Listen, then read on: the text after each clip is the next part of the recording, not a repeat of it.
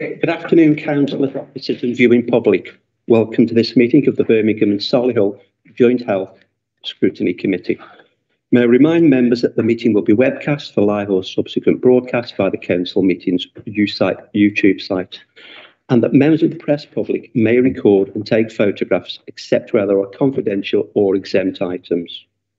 Can remind officers and guests in the room to please speak directly into the microphones to ensure that the live streaming is clearly audible. May I remind members of the public attending that this is a meeting in public, not a public meeting.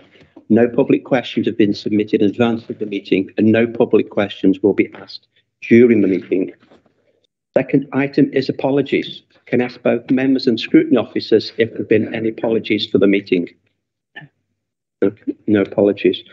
Declaration of interest. Can I ask members if they have any declarations of interest to make? We submitted some in writing, so just to say one of our non-exec directors is a councillor. Pardon? We submitted one to Gail in writing um, around declarations of interest. Okay, thank you for that. Chair, Chair, it's just that I'm a charity I'm a trustee of. Um, it's commissioned as a partner with UHB, so just to declare that. Okay, thank you, Councillor Moore. Okay, minutes is the next item. So we need to confirm the minutes for the meeting held on the 13th of October 22. There's three items I need to update the committee on relating to the Birmingham and Solihull Integrated Care System Performance, Finance and Recovery Plan. First of which is it was requested that future reports include ambulance response times and timescales for hospital discharges. These have been included as part of the reporting of the BSOL ICS Recovery Plan, which you will receive today. The second point was queries were raised on the growing use of private health sector service provided, private health sector services due to pressure on NHS services. Healthwatch produced a briefing note outlining the feedback they have received from residents, and this was shared with members last week. Can I confirm that members have actually received that? Okay, I assume that's correct then. The last of the three points is when the BSOL ICS recovery plan was considered at the last meeting, members queried the availability of a wide range of data and or evidence regarding primary care services. ICS has advised they are developing a primary care enabling strategy and it is proposed for this to be considered at the next joint OST meeting scheduled on the 15th of February. A major focus of this strategy is ensuring effective data collection arrangements.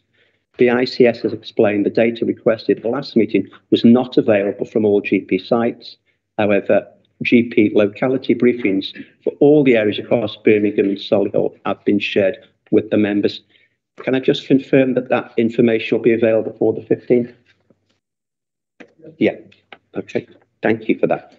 The next item is the committee's terms of reference, and that's to consider the updated terms of reference for the municipal year 2022 to 2023. And I'm going to ask Fiona Bottrill to introduce that item. Thank you, Chair. Um, it's a relatively short report and hopefully um, self-explanatory.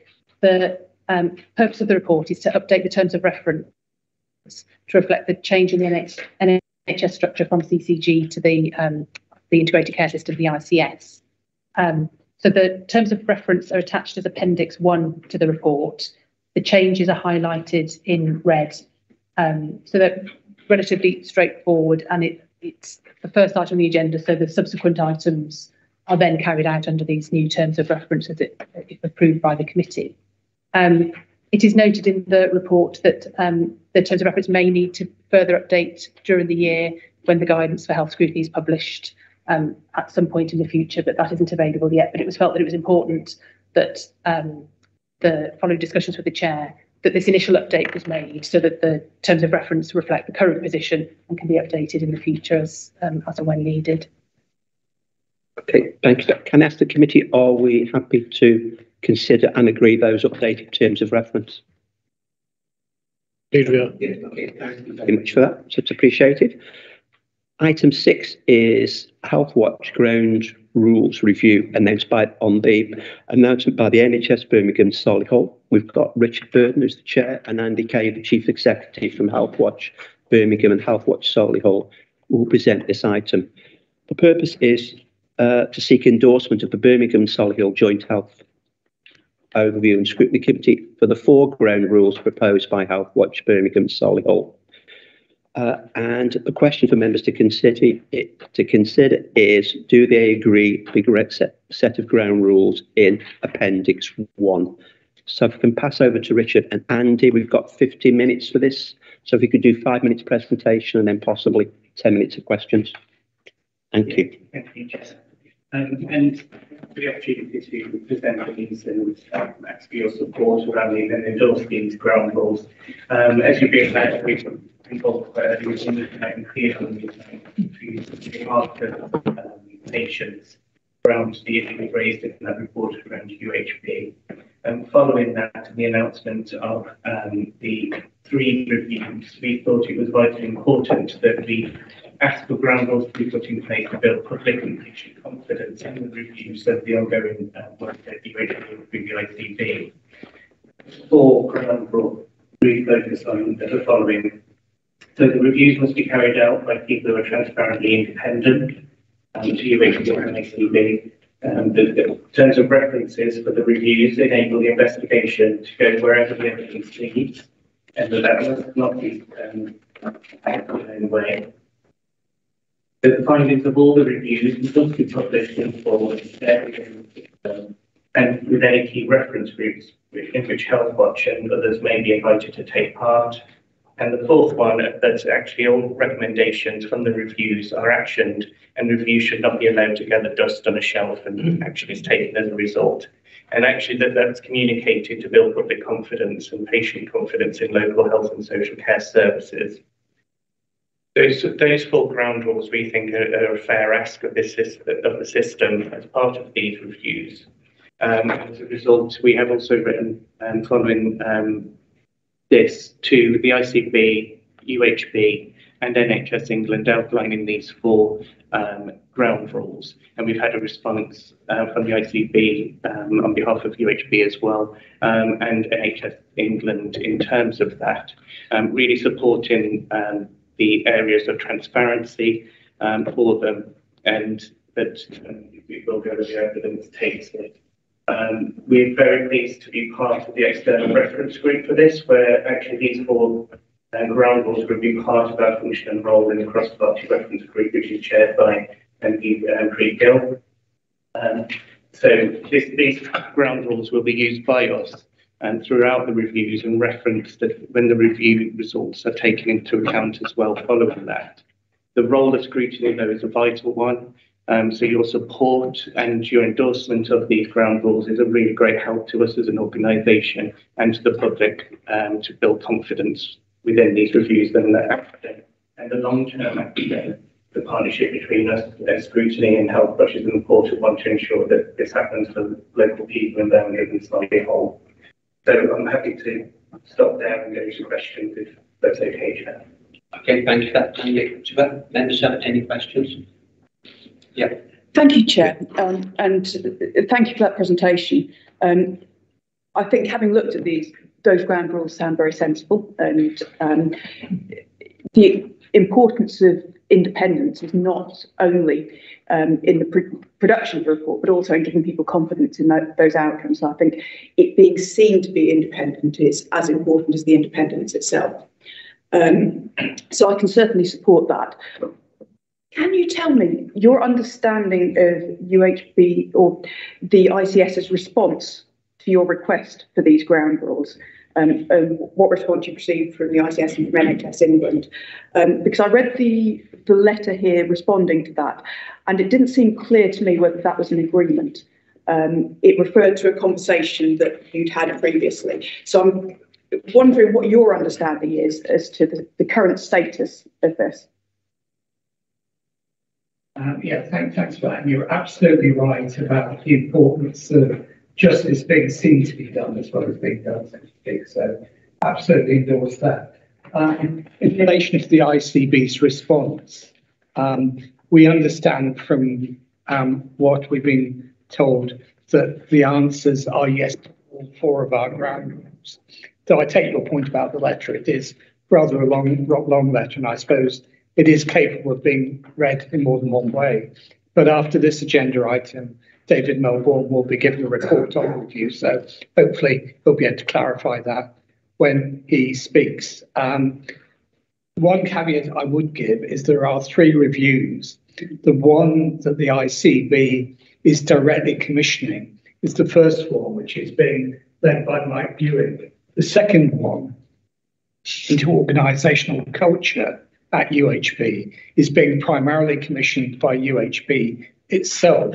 And the third one into leadership at the Trust is being uh, more directly overseen by NHS England. Um, in relation to the UHB one, the second one on organisational culture, we've yet to have clarification about whether or not they will be agreeing to our four ground rules there. We hope they will. That's not yet been confirmed. And we don't know anything about the arrangements for that review in terms of who's doing it and so on. On the third one, in relation to the leadership of the trust, um, we've had a reply from NHS England that expresses sympathy with what we're saying. They've not given an unequivocal yes to our ground rules, to be said. And there's still some vagueness about how far the results of that review will be published. Um, so that's something we need to pursue with them, and your support for us on that would be most welcome. I think that clarity, we can clear that up today. That would be fantastic. Um, I did have a follow-up question, but I'll come back to that. So. Councillor Pocock. Uh, thanks, Chair. Yes, it's a simple question. Uh, the core um, ground rules are brilliant. They're solid, they're strong. All rests on the interpretation it words, of course. So the word independent is a crucial one here. So I wonder if you might want to emphasise for this committee and others watching um, how you interpret that, that, that word, uh, in particular when somebody may have an interest that has a disproportionate influence on their predisposition. Uh, Yes, I mean, what we're saying on that, in the letter that we sent to the ICB and others, we were clear that by independent, we mean that um, that even though the ICB commissions this review and the other two bodies, NHS England and the and UHB commission the other two, the personal people carrying them out should not be part of those organisations and they shouldn't have any personal or commercial relationship with anybody senior at UHB. That's the way we've defined it. Um, we hope that that will be met. I have to say, this may come up later, there has been some pushback within the last week from a number of the whistleblowers and other staff who've been concerned about things at UHB, and they are not confident that the first review, which is the only one we have any details about, is sufficiently independent. So we've got their letter. It makes some very serious points. We've passed that to the UHB for response, and it will also be considered by the independent and the external reference group that Andy mentioned at its meeting next week. That'd be helpful to use that as perfect. Could you clarify for me on item three of this letter? It says continue to work with Health Watch Birmingham, Health Watch Solihull to ensure action is taken as a result of these reviews for the people of Birmingham Solihull. I agree with that in principle, but we should be wary that that predetermines the length of your contract because your service is a contractor. Do you have an opinion on that? I, think as a provider, actually, it's like as long as there is a health watch Birmingham or a health watch Solihull, actually the results of these reviews should be worked with and the system should be working with whoever the provider is, regardless of who holds that contract. Health watch is an important local role that should be part of this moving forward, regardless of the contracting process, and really to help patients that are hard to pay vital. Yeah, I'm certain that the role will continue, whatever happens. But it's just legally, it's difficult to predetermine the contracts under those circumstances. We would hope any contracting arrangements change in the future, that actually ongoing projects like this that would be in the heart would continue with whoever's providing that. We're currently more than happy with your performance. Um, thank, thank you, Chair. Um, certainly have no issue with the ground rules as set, set out. Uh, slightly worried they have to ask for a review to be independent and not to be fettered and that the results to be published. So, but uh, I certainly have no issue with asking for all of that to make sure it does happen. But slightly concerned it NHS said, Richard, just haven't yet agreed to that. So, um, slightly worried that they don't seem to be, well, they're certainly holding back on committing to, to those four things that you've asked for because they seem perfectly reasonable and I can't see why there would be any issue. In respect of item, well, the fourth ground rule you've asked for in terms of the recommendations, I know it's the scrutiny process, Chair, quite often when we carry out an inquiry, there is a tracking of recommendations and whether it's worthwhile, I assume Solihull have a similar arrangement. Um, having uh, we as the joint committee have, uh, track the recommendations set out from the review, so we can easily monitor that as part of the oversight.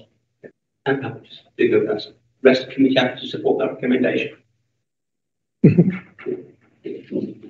That- When you come back. Thank you. So, yes, and thanks to my colleagues. I, I think um, I've got a sense of what the answer is going to be from those previous responses. Um, I was going to ask that, um, as far as you know so far, um, from what we've been told about that first review, is that consistent with the ground rules that you've set in place um, to your, to the best of your knowledge and, and opinion? To the best of our knowledge, yes. Um, however, you know, we do want that to be confirmed. We are concerned by the pushback that's come from some of the people most affected because if they don't have confidence in the review, the way it's being set up, or the way it's going about its work, then that is a problem for the reason you identified in the first place. You know, it's got to be seen to be independent, but hopefully, um, yes, it will be. As with all of these things, the proof of the pudding will be in the eating. And that's why the role of this external reference group is important. And I have no doubt that if it looks like that review is being fettered in any way from the ground rules that we've set for it, uh, or we've asked to be set for it, then I've got no doubt that external reference group will have something to say about that. Fantastic. I'm aware of some of those concerns, presumably the same ones that, uh, that you've been made aware of as well. Um, so the external reference group will be considering this. What's the timescale for that? I'm just a little bit concerned because we're um, approaching the middle of January now. We're looking at the end of January for um, publication of those findings um, according to the timescale. So when is the external reference group going to be considering this? Uh, well, the external reference group will meet for the first time next week. Um, uh, I think in terms of the review, I mean, obviously we're not doing the review, it's Mike Bewick himself, but I would be really, really surprised if he and his team finish their work by the end of January. I mean, the allegations and the issues that have been raised about UHB are so serious so detailed that I cannot see you can have the results of a full review within the timescale that's been set. However, I do know that he wants to produce something by the end of January, but I think it's very, very likely he'll be going back to the ICB and saying, these are my findings so far, but there is this, that, and the other um, issues that are still outstanding. These lines of inquiry that still need to be pursued, and therefore the work should carry on, whether it be by his team or by some other mechanism. Thank you. Um, thank you. I think Councillor Sexton might have asked, you might have answered in part. My impression was about timescales. I support the ground rules, but just in terms of number four, it's just, you know, timescales for a review and timescales for actions. I mean, you talk about, you know, not gathering dust on a shelf. It's just, have you thought that through a bit more in terms of setting timescales? I, I think it's difficult for us to set timescales. They need to be done quickly. And I mean, I think why the ICB set it up so rapidly after the Newsnight report, it does need to be done quickly because the concerns are people, I mean, the more that comes out, they've been there for a number of years, and therefore the sooner they are tackled, the better. However, because it's really quite some quite complicated issues have arisen just in the course of the last few weeks. You know, I think it's more important to do this thoroughly than to do it quickly. And it shouldn't, but certainly there shouldn't be a, anything skated over just to meet a timescale. So, you know, my best guess is that um, there will be something produced by the end of January, I think we're then probably talking, and again, health warning here, it's not our review, but we're probably talking about a few months to get um, detailed results back for it. As soon as those results come back and the recommendations are made, obviously we can't pre prejudge what those recommendations will be, but that's why we say there should be action to implement those recommendations. That's got to be taken without delay after that report. Thank you. Councillor, Thank you. Uh, The fact that you feel the need to put forward four ground rules that in essence look like common sense suggests that past experience would indicate that it will ordinarily happen. Uh, Is, is that the case? Are there examples that of reviews where you feel these four ground rules have not been met uh, in part or or in whole? Or are there examples where you feel actually there are uh, reviews that have been completed that where these four rules were applied?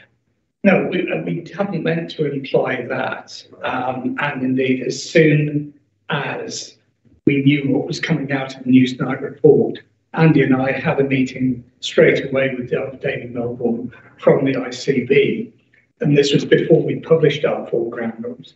We verbally put to him then what we would be looking for in terms of the investigation. And verbally, he agreed then.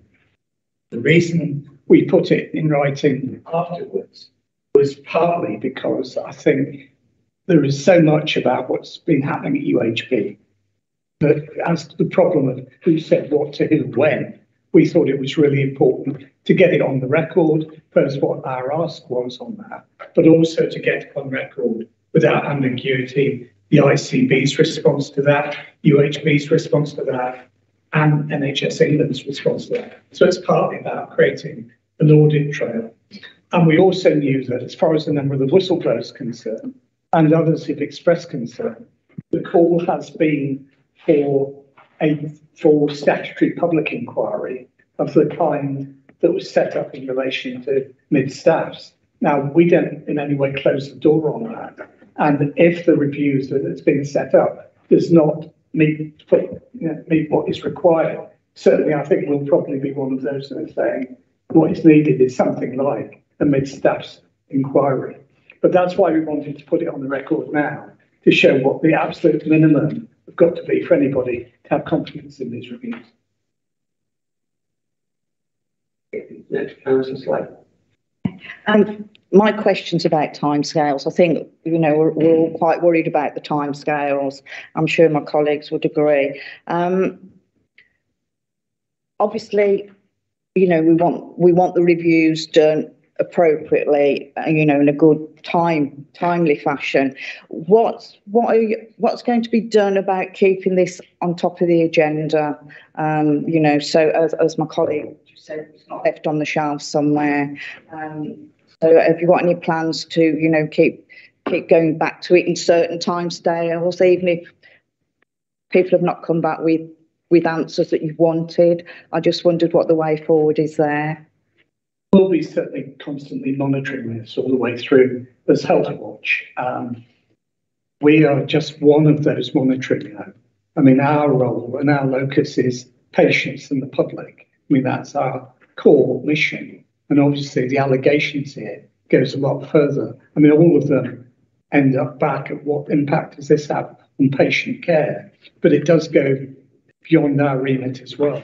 That's why, I mean, I have no doubt that there will be others that will be monitoring it as well. Certainly, I think Preet Gill will be doing so. Her external reference group will be really, really vital to that.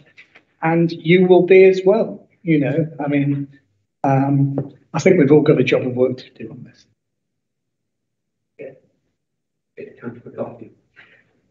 Yeah, I note that residents and councillors' comments, concerns will be fed in by a cross-party reference group. Are we clear that those are going to be fed verbatim to the next uh, level? In, into the review group themselves? Um, and is there a deadline? Do we know when these this meeting group is going to meet to consider these? Well, the cross-party reference group hasn't yet met, but my understanding and indeed the terms of reference of it have not yet been made available either. Um, and again, we are not running that cross-party reference group, but my understanding is that its role be, will be one of scrutiny. You know, so I, I know in terms of what the ICB said is to have an input in. And I'm sure the reference group will have in terms of saying, have you looked at this? Have you looked at that? But that reference group is not going to be part of the review. It's going to be part of the scrutiny mechanism to make sure that the review does what it needs to do. Yeah, I just want to be clear that uh, I support the uh, recommendations in your letter that the, this review should be unfettered in any way, that these uh, residents, councillors' concerns will go through the process unfettered in any way. I hope so, but, Verbatim. but certainly the reference group is not a way of filtering those. You know, Can we recommend that as a, yeah, Councillor McCarthy, it may be useful that issues regarding the timescale and the, the reference group get picked up in the next section that David Melbourne and Jonathan Brotherton will, will, will be presenting. So maybe we could come back to that question with, with at the next item. And then if we still haven't got a, a, a concern, a result which reflects the committee's concerns, we could, we could revisit it. One thing I would say on that is that the first con- the only conversation I've had so far with Mike Bewick, who's running the review, he's made it clear that anybody can put evidence direct to him, and he's happy to have his personal email disseminated, which we've been doing. So that's why I said we don't, neither us nor the external reference group, whilst I'm sure both of us would want to help anybody put forward evidence if they want to do so. They don't need, we don't need to mediate that or moderate that evidence can go straight to the review. And there's got to be assurances that if it does go in, it'll be treated with the confidence that uh, that's needed. as part of the role of scrutiny to see that we're confident that that has happened as we follow this through? Do you have any further? Questions for, uh, for Andy and Richard? No. Okay. Are we happy to endorse the ground rules set out in Appendix 1 from, from Healthwatch? Okay. Thank you very much. Thank, thank, thank you all for that. Uh, The next item is number seven, which is independent reviews at University Hospital Birmingham NHS Foundation Trust. We've got David Melbourne, ICB Chief Exec, Jonathan Brotherton, the interim uh, Chief Executive from UHB NHS Foundation Trust. The purpose of today is further to the Newsnight and other media coverage in December of 2022 relating to alleged concerns regarding patient safety, leadership, culture, governance, in particular with regards to University Hospital Birmingham, uh, NHS Hospital, NHS Birmingham, Solihull ICB had agreed three independent reviews. Uh, and the paper we got is summarising the progress to date. So uh, I think we want to go across to, to David and Jonathan to expand on that for us. Chair, Gail, do you have the, uh, give that presentation by EA some, it's a slide with the reviews on? Um, I can find it in my emails. If you want to make a start, I'll bring it. No, that's fine. Yeah, 'cause- It was distributed. yeah, I think it was distributed already, but, uh, I'm going to talk, talk through that if I might, but if I can just give this some context, uh, University Hospitals Birmingham provide the majority of the care, uh, secondary care for citizens in our city. There's over twenty-two thousand staff there, uh, twelve hundred, uh, consultants. It's one of the largest, uh, health providers in the country and indeed in the world. And the majority of the care there is high quality care. I wouldn't want people going away from here thinking uh, that that uh, that that isn't the case. And certainly, there's no doubt that we as an NHS have got to uh, highlight, look at the issues that have been raised by the Newsnight programme. Um, but I do think that one of my jobs is to make sure there's confidence in the NHS locally, and the majority of the care that is done through all our system is high quality care. However, saying that, we have commissioned three reviews, or three reviews have been commissioned, and um, you've got this in the pack, but this, this is a schematic of showing what those reviews are. Now, um, the first one, the first two, the culture review and the well-led review, um, and I'll explain what each of those are. We have decided internally in the NHS to to, to do those two independent reviews prior to the new programme. Be absolutely clear, those were decided prior to the Newsnight programme. They weren't in response to. We knew we had issues to, to sort out, and I'll take you through each one. What is a well-led review? Well, a well-led review looks at the governance of uh, a healthcare organisation, and it actually links in to the methodology that the CQC use when they come and review organisations. You will probably see CQC reports about all our healthcare organisations across Birmingham and Solihull. It looks at, at how it's governed, how does the board work, how do the subcommittees work, but also how it's run. And that P, and, and, and that review is being taken by a range of experts from across NHS England, none of whom are local to Birmingham and none of whom are in that hospital. That report will go to Jonathan and go to Dame Eve Buckland, the interim chair and the interim chief exec. Uh, but and, and those types of reviews, most organisations will have them at some point in. I mean, it's every three or four years you have those, but it's good to take stock of that and learn from them. And Jonathan might want to talk about some of the work he's already doing in preparation for that review.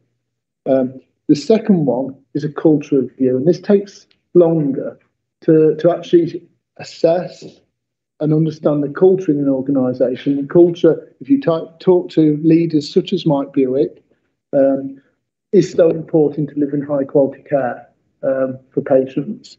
Um, and that is going to be commissioned, externally commissioned by Dame Eve Buckland. So it will not be somebody who's undertaking, nobody at the trust or in the system will be uh, who undertakes that review will will be involved in actually doing the review. So there's a clear independence there. It will report to, to Eve, Dame Eve Buckland, and to Jonathan again. Um, then the third review is the issue around patient safety. And I was as shocked as everybody when I heard the Newsnight um, sort of uh, report uh, just before Christmas. And therefore, that's when we, we decided to actually look at the patient safety review. And that specifically focuses on those allegations made in Newsnight. There were six allegations in Newsnight, and it specifically focuses on those allegations. I thought it was really important to do two things. That was independent.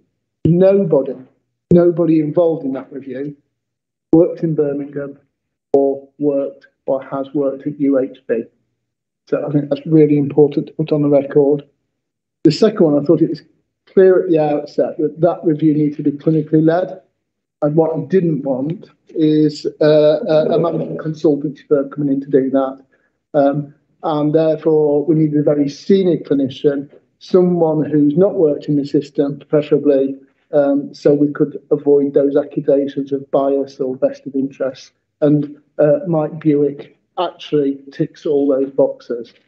So they're their three reviews. Now, as I said, our intent initially was to do the first two and not the second one. Now, I do recognise, and I've talked to Mike on a regular basis, that it's important that he may well find things in his initial review that he has to refer on to either the well-led reviewers or the cultural reviewers. As Richard says, there's a, you know, these are big issues that need to be sorted out, and he will make recommendations. I spoke to him uh, yesterday. He will be making recommendations by the end of January. Uh, as Richard said, there might be more work to be done after that. What he's also committed to do is to come back um, in May to see whether those recommendations have been implemented. So independently, we can do that. Um, but I, I, think that's that's important. I, I recognise what colleagues around the table said about timeliness.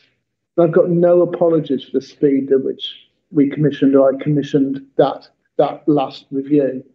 Um, it's imperative to me, given what I was hearing in the media, that we acted at appropriate speed. And I'm sure if I'd not done that, I'd have been criticised the other way for not doing that, for dragging my feet effectively. So it's a balance between the two, and that's what I've uh, that's what I've looked to do in terms of timeliness.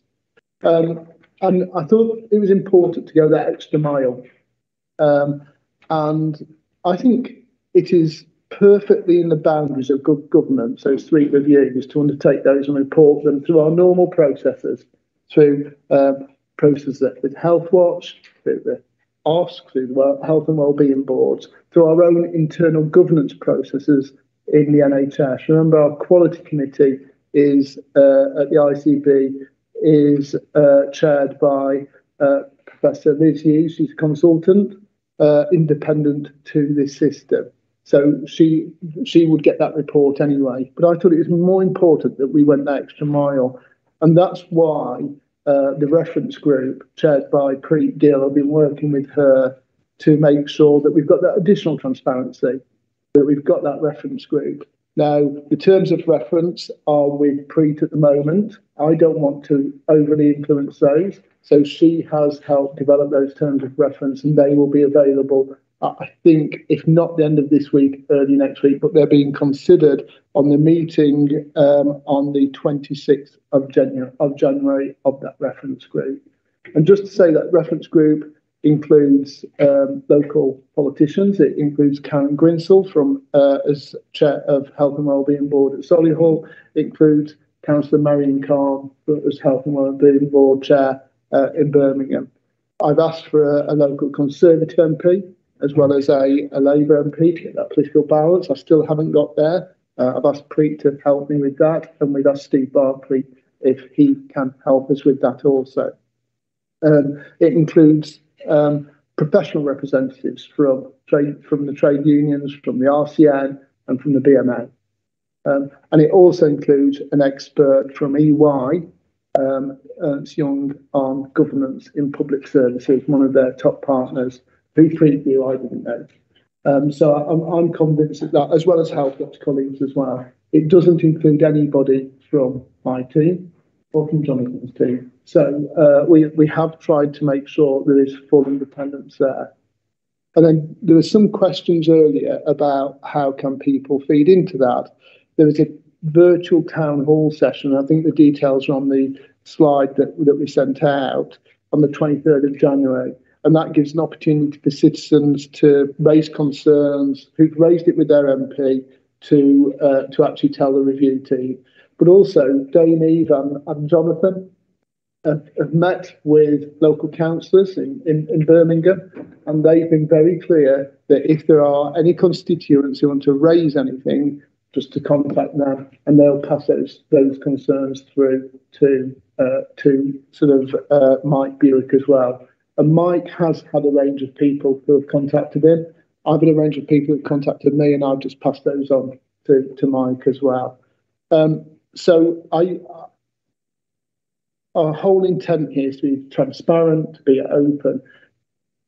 But I think that now we've commissioned these reviews, there has to be less of a focus on looking for a scapegoat or, or, or, looking for somebody within the NHS. The NHS at the moment is under extreme pressure, and we need to be able to get on and deliver services whilst also giving the confidence by doing these reviews.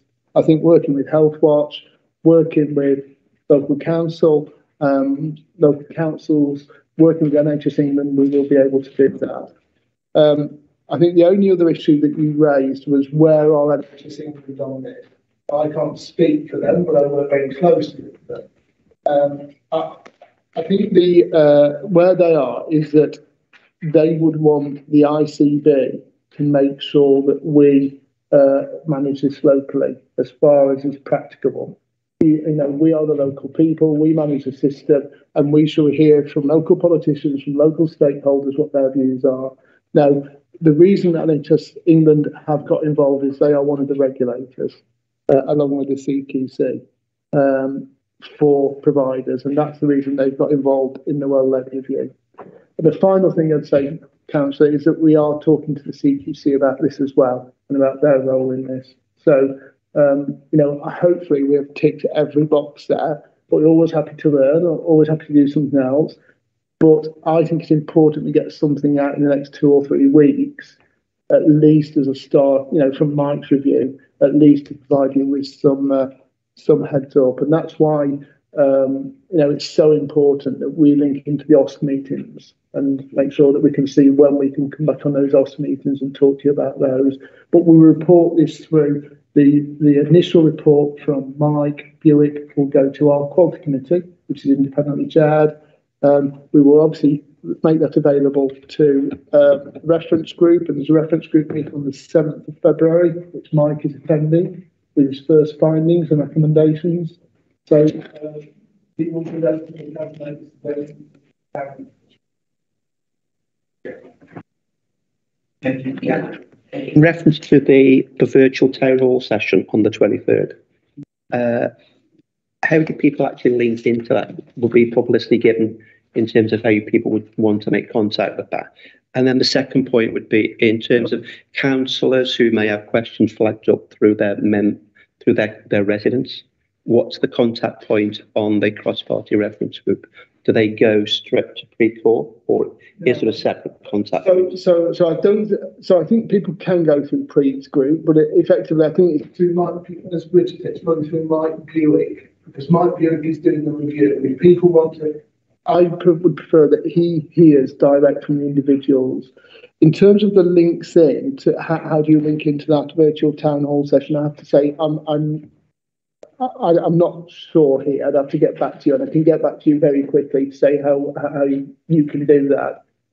The um, the people who go into that virtual town hall session are the uh, have been invited. There are 50 people who Preet Gill has highlighted, plus any other colleagues that have. I, I said I've, I've got a number of people who'd, who'd come to me. Um, there are other people who've contacted Mike Bewick direct. It's those people who've been um, invited to those meetings. Mike has also said that if people aren't comfortable in talking in an open forum, he will speak to them one to one. You'll get those contact I'll. I'll get them because I don't know them off the top of my head. I wonder if we could have the details for that and also the direct contact details um, circulated. Um, Yeah. As, thank you. along with the terms of reference. So very good to put the two together. Yeah, Councillor McCarthy, the terms of reference aren't with me, they are with Preet Gill to, to sign off. So I'll, I'll, I'll push her to do it, but, uh, but they've been with her.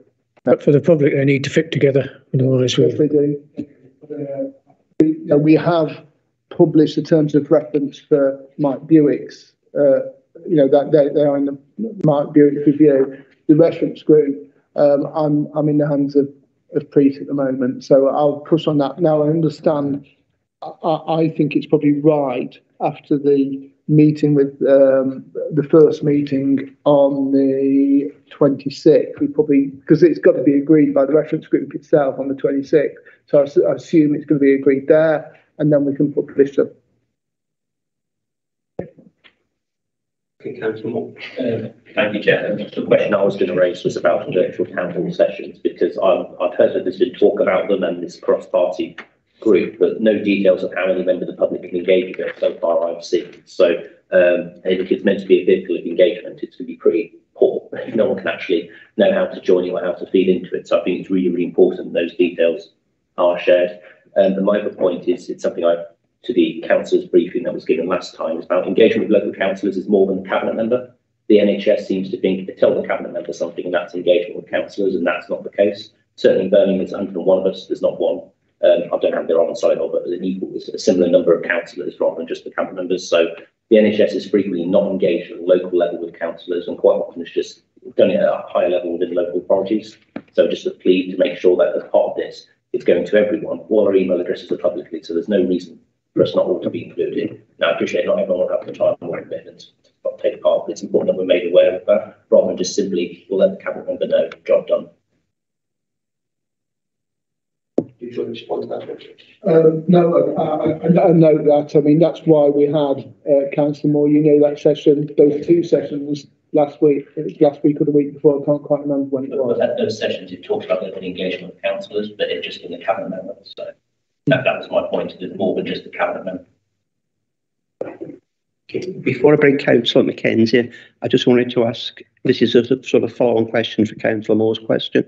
In, I was thinking in terms of seldom heard communities, if it's prop, people such as local councils aren't sure in terms of how to contact this and get their views, but it would be more hard, more hard to reach or seldom heard communities actually being engaged with. Yeah. So um, I, so the purpose of the Bewick review is very clear.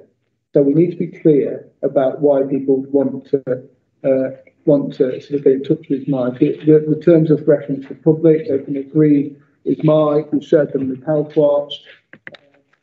This isn't a, a, a this isn't our engagement about everything that's happening the rate, it's specific to the issue. So I think we need to be clear on that, or we're making a review undoable, Mike's going to do. Because the danger is we say everybody can come and people will complain, probably rightly, that they've been waiting too long for an operation or you know, this went wrong when they were uh, at the hospital. This isn't about that. This is specifically about what was in the terms of reference to be sent out on the paper. So I think, think Chair, what I, I'm happy to do is send those details of Mike, Mike will these reference to the terms of reference. Otherwise, we get into a position where it's just unmanageable for us as an NHS, because he'll be getting hundreds of emails that should probably be going through the PALS service at UHB, or going to the complaint service, or coming to me as a complaint, or going, you know, going to the parliamentary ombudsman. So we need to make sure we're not going around those those processes that in place throughout the everything. It is specific to these issues um, that, that we've done that. So, and again, I'd say that with council as well. So I think it's it's understanding what that view review is about. Um, but I will make sure that people have got my viewing email address. I'll make sure um, that people know how to get onto that uh, virtual town hall. Um, I think again, Preet is managing the, or Preet's office are managing the, um, uh, uh, uh, uh, managing the sort of arrangements around that. So I'll just have to need to make sure I get in touch with her. Councillor Mackenzie. I did when you first started speaking, you said you were shocked about the details in the background. Mm. I think if anybody has been using the NHS or having a family member I have, think you wouldn't be shocked because that's how it was. Um, unfortunately. And hearing from residents as well, saying exactly the same horror stories, which is really bad. And on the um, Mike Bewick um, review, I googled it in case it had come out early, so but on there, when it when I googled it, a report done uh, Berwick, B-E-R-W-I-C. It's a different individual, yeah, yeah. A review, and in that review, it talked about patient safety, staffing levels, um, transparency, service accountability, and that was in 2013. So, nobody taken any notice of that review that was done, and and possibly um, stating the same ideals as what the next review will be. Just trying to, uh, sorry, I'm just trying to find out what that, that review was. Dun, yeah, Staffordshire. So, so the Don, Bur- is an American uh, sort of uh, clinician who is an expert in quality. Um, so um, now clearly, Mike Bewick does understand. I mean, he did the, the, the reviews at Morecambe Bay, for example. He understands all those issues that Don Don Berwick would have highlighted elsewhere. So he does understand that. And if I might, Councillor McKenzie, just go back to, to as I was shocked about, I think we have to distinguish between two things. What was claimed and uh, the allegations in that Newsnight review, which we are looking into, and the experience that many of our citizens have of the NHS. And I know that, that um, if you went from the top of the NHS all the way through to leadership in the NHS, we will say that December was incredibly challenging. We had, um, you know, we, we, we're coming back from, we had flu, we had COVID, we had industrial action, we, you know, we had record levels of demand. We know we're not where we want to be let, let me just give you some assurances. Birmingham Solihull is one of the fastest improving systems in terms of um, its cancer rates, in terms of its over 78 week rates, and other areas. That's not saying we've not got a lot to do, but I want to continue to stress that there is confidence in the local NHS. We've got some fantastic teams, uh, incredibly hard to do.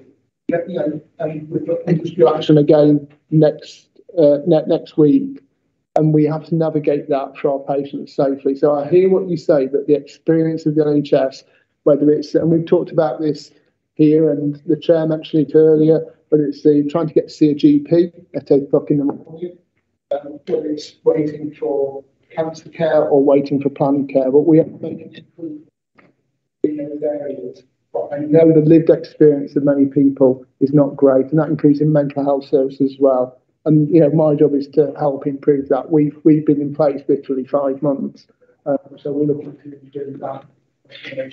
But I think we need to distinguish between that and the allegations that I was shocked on.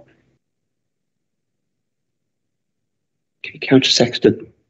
Thank you, Chair. Um, I've got a number of questions on, on this report. Um, I wonder if we can go through them. Um, the first one was, you mentioned that the uh, reviews were in process before the Newsnight. So can I ask what the stimulus was for setting up the reviews if it wasn't the allegations that were made um, on that Newsnight programme? Yeah. I mean, I've, uh, Councillor Sexton, I've, I've been open with this. I've said it at our board meetings, which in public. Um, I've also said it, I think it's one of the councillors' meetings that, that we've had. Um, the NHS has a process of governance that looks at all its providers. Um, and already there were some issues with UHB that we knew within UHB and outside UHB that we had to look at. And we, we have a process where NHS England have board to board meetings with the local integrated care board, with the provider and the NHS board. And it was that meeting which then set the requirement for a well-led review and set the requirement for a, a, a review into culture. Because our our assessments at the time was that was what was required. Now, what we've added to that is something else, the Bewick review into those specific issues of safety, and he will feed into those other reviews as well, and he will come back and he will tell us if we've done what we said we've done.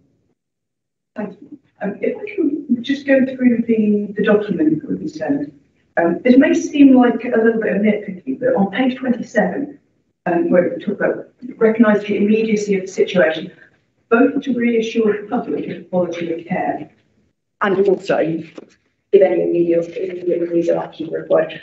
I'm a little bit concerned about the phrasing of that, and I wonder whether that's somewhat prejudges the outcome of the review. Um, because um, reassurance is important, but it's also important that that is based on um, a realistic appraisal of what the current situation actually is. And prior to having the findings from that review, um, it's not clear to me whether reassurance is the appropriate first step. Um, so I'm a little bit concerned that it seems to be being phrased in a way that suggests that that's the likely outcome. Um, so that's uh, my first question. I'll, um, I'll go through a couple of things and maybe you can come back. Um, the second one was on page 28, um, item three that talks about the review and a consideration of the trust response to staff deaths and the tragic suicide um, recently um, that, that was recently found by the coroner. It mentions here appropriate support and training in context of death from suicide. It doesn't mention general mental health support. Um, and I'm wondering whether there should also be something they're talking about mental health support that's available to staff members who may be struggling, even in the absence of a suicide to prompt that. Um, because obviously, by the time that's happened, that's a little bit late. We want people, staff members, to be able to access that prior to reaching that terrible stage. Um, so I'm wondering if that needs a little bit of looking at there. Um, and the final one I'm going to ask in this batch is on page 30, it talks about um, a group co-chairing um, or co-chaired between NHS England and the NHS Birmingham and Solihull group, and that would oversee the programme work. Can I ask what steps are being taken to ensure that that group in particular is as independent as possible from UHB? Um, and the context for that is that as we talked about earlier with the Health, Healthwatch's request, it's being seen to be independent that's important. And we're in this room, we're all aware that there are a number of links between UHB and ICS and people who've been employed at, um, at both. And I think it's important to make sure that the group that are looking at this in particular are seen to be as independent as possible from anything that might have gone on that's being looked at by the review. So, Thanks, Councillor Sexton. Um, so if I go to your first point about reassurance, there's, there's nothing meant one way or the other in that. I can just assure you that, um, you know, that the, it's probably the wording rather than anything else. So, so apologies if, if that came across. I'll, I'll, for, for, I'll will mention to Mike when I see him next week about the general mental health support at three for staff. So ask if you can look into that as well. In terms of independence, now we are not unique, and I, I am not going to be an apologist for this. I'm not unique in having senior staff drawn from our broader system. There are 40,000 staff in the NHS locally, 22,000 of those are at UHB. Um, so what I have committed to is making sure, as I said, the state, uh, I've actually had to give a statement to the press, and uh, I, I'll make it here that none of my colleagues who have worked at UHB will be involved in any of these reviews or in that oversight room. So, the, so there will not be any colleagues doing that. Um, but what I'm not going to do is apologise for having high quality individuals working for me who've previously worked at UHB. Sure. I, I appreciate in this context that is to some degree inevitable. Um, it's just making sure that in looking at this particular item, that independence is maintained as much as possible. Um, one final point for now. Um, how have UHB staff been contacted to ask them to feed into the review? Um, because I'm aware that a lot of the the allegations to do with the, the culture amongst staff and how staff are being treated. Um, and I mean, I've heard from a number of UHB staff who've had stories to tell me. Obviously, it wouldn't be appropriate to recount those anecdotes in this context, but how are those people being given the opportunity to, to feed that in? So um, we've said that they can get in touch with Mike Bewick. Um, I'll, I'll go back and make sure that Mike Bewick um, is, you know, his email is available. However, as I said previously, the Bewick review, you know, the scope of it is the scope of it. It is not so the we when you've got 22,000 staff, not all those staff are going to be happy. And therefore, we have to make sure that if, if we open that up, it makes the whole thing undoable, as I said about the, the uh, uh, about the local population. Isn't that we don't need to listen to staff? And I'm sure that Jonathan will talk about the work that he and Eve are doing since they became, you know, a new leadership has gone into the in, into UHB. Um, the work that they've been doing in listening to staff. Uh, you know, for me, what I'm trying to do is provide a forum to listen to, to, to, to listen to patients, to listen to our population. But I think Jonathan's doing that, actually mirroring that and Eve Buckland within UHB. Because what we've seen and the feedback we've seen independently is a difference in approach. And I don't know, Jonathan, whether you want to just talk about some of the work that you've been doing. Yeah. Sure. Good afternoon, everyone. Hope you can hear me okay. I'm not sure where the microphone is. I think it's behind there. So, um, I mean, I've been in the organisation. This is my ninth year. Um, almost all of that time as the ops director, and more latterly as the deputy chief exec since April last year, and then as the interim chief exec on the first of January this month. Um, and Dame Eve Buckland has joined as interim chair at the same time, and we are taking this moment in time to try to speak to as many people, not voting, we are speaking to as many people as possibly can for a couple of reasons. One, there is clearly a strength of feeling that exists that needs to be heard. It needs to be brought to the surface, heard, understood, and then acted upon. The second reason is that there are many of our staff whom are concerned about the impact of the negative coverage about the organisation at the moment that's in the media, that's being talked about as part of everything that we're discussing today, how that's impacting on the public in their confidence to access services at the hospital, our own patients currently who are under our treatment and people that have perhaps been under our treatment in the past and wondering whether everything was okay.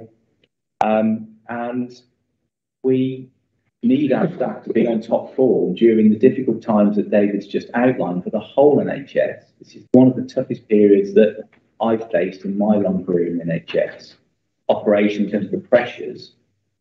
We need to make sure we're doing everything we can to support them through this difficult time, both difficult in terms of the demands upon them because of the uh, you know the demands on healthcare that we face, but also the um, the reporting about the organisation and some of the things that we're being told.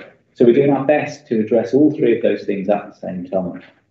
What we're very clear about, though, is that when it comes to the cultural review that they, they need as commission, that we need some independent Um, uh, uh, support with delivering that. So she's in the process of identifying an organisation to come in and oversee that culture review to make sure that everybody gets the chance to speak up through whatever route they feel most comfortable speaking up in, whether that's confidentially or whether that is in person or however that may be. So we will provide a variety of routes by which people can share their experiences, thoughts, and any concerns that they've got. And then we will take that information, as we're already doing, but continue to build upon that in order to inform what we need to do going forward. And all of that is, it's got quite a lot of overlap, as David's described, with the patient safety review in the the terms of reference are in the pack. And any learn anything that's learned from that patient safety review will be fed across into the cultural review and also the well-led review as well. So we're doing our best to tie all of those together at the same time um, and provide an opportunity to people. Fantastic, thank you. And I can fully appreciate what you're doing there, and I, I think it's important to get that sense from staff. Um, at the same time, I'm aware that some of the allegations have been around whistleblowing and how whistleblowers are treated. So I could understand if there were staff members who didn't necessarily feel comfortable talking to somebody within the organisation. So I think what you said about making sure there's an external organisation where staff members can be confident that that's being treated confidentially um, is really important. And also, I think making sure that the, the message is got out to everyone so that they are aware that this is taking place and they know how to feed in anything or any concerns that they may have. Um, I think that's what I, am I'm looking for that assurance. So thank you. Can I just raise one point before I bring Councillor Pocock in on um, point of the councillor Sexton made about staff counselling? I would have assumed that if, because I understand there's a staff counselling service at UHB where you can either email them or telephone to arrange an appointment. I would have assumed that that information had been treated in confidence anyway? Yeah. yeah. Okay, so thank you for that clarification. The second point would be in terms of, are you able to give us some indication in terms of whether that service has had a spike in referrals over, recent times? You may not know that information now. Would it be useful if, if you could actually find that out? Yes, we can have a look into that for you.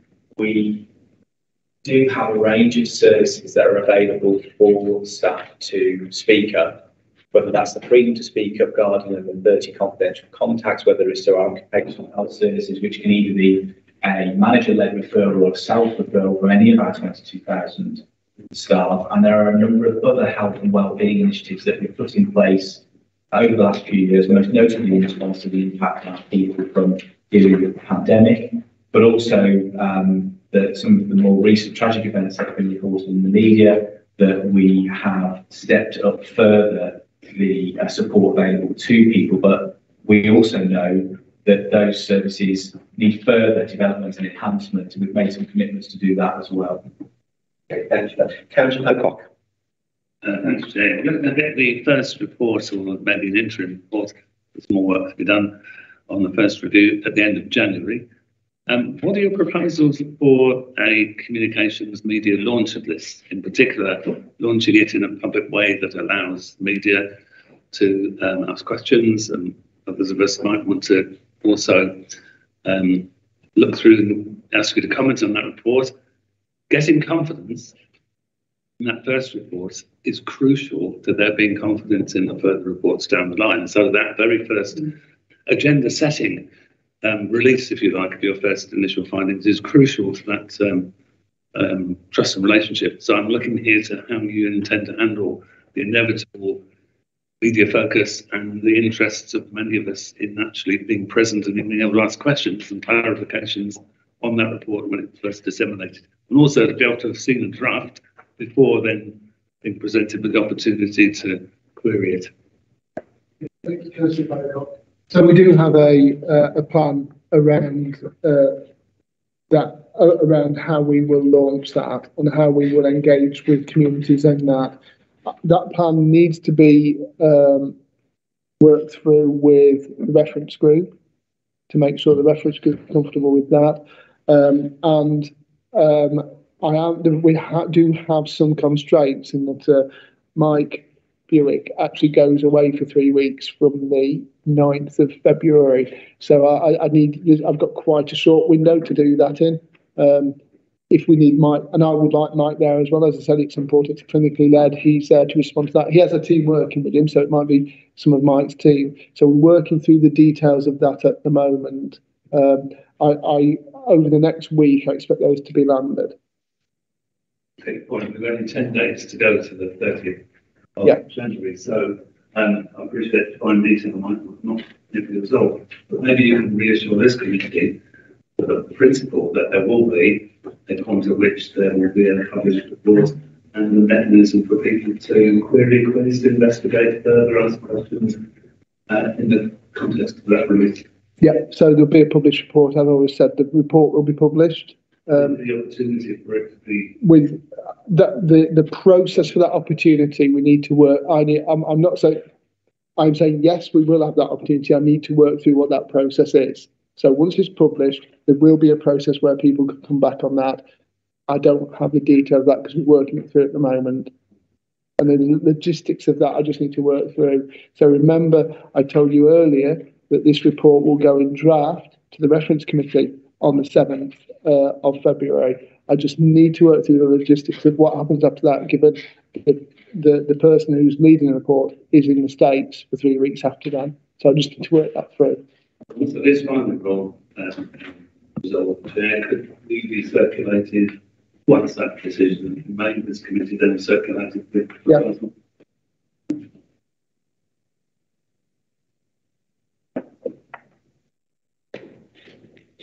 I could just make off one final piece of feedback, um, because I know we've discussed this previously as this committee. Um, in terms of the psychological support available to staff, um, I appreciate that that's available, and I'm, I'm, I'm grateful for you confirming that.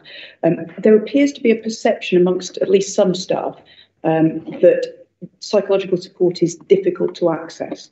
And I mean, that's based on my very informal survey of um, staff members, NHS staff who I come into contact with my day-to-day job, or um, during a brief period last year when I was uh, enjoying UHB's hospital hospitality. Um, but having spoken to a few people, there seems to be a perception that it's difficult to access. So I've, I do not know whether that's an accurate perception or not, um, but one way or another, it seems to me that that could perhaps be communicated to staff um, more effectively. Take on board. Yeah.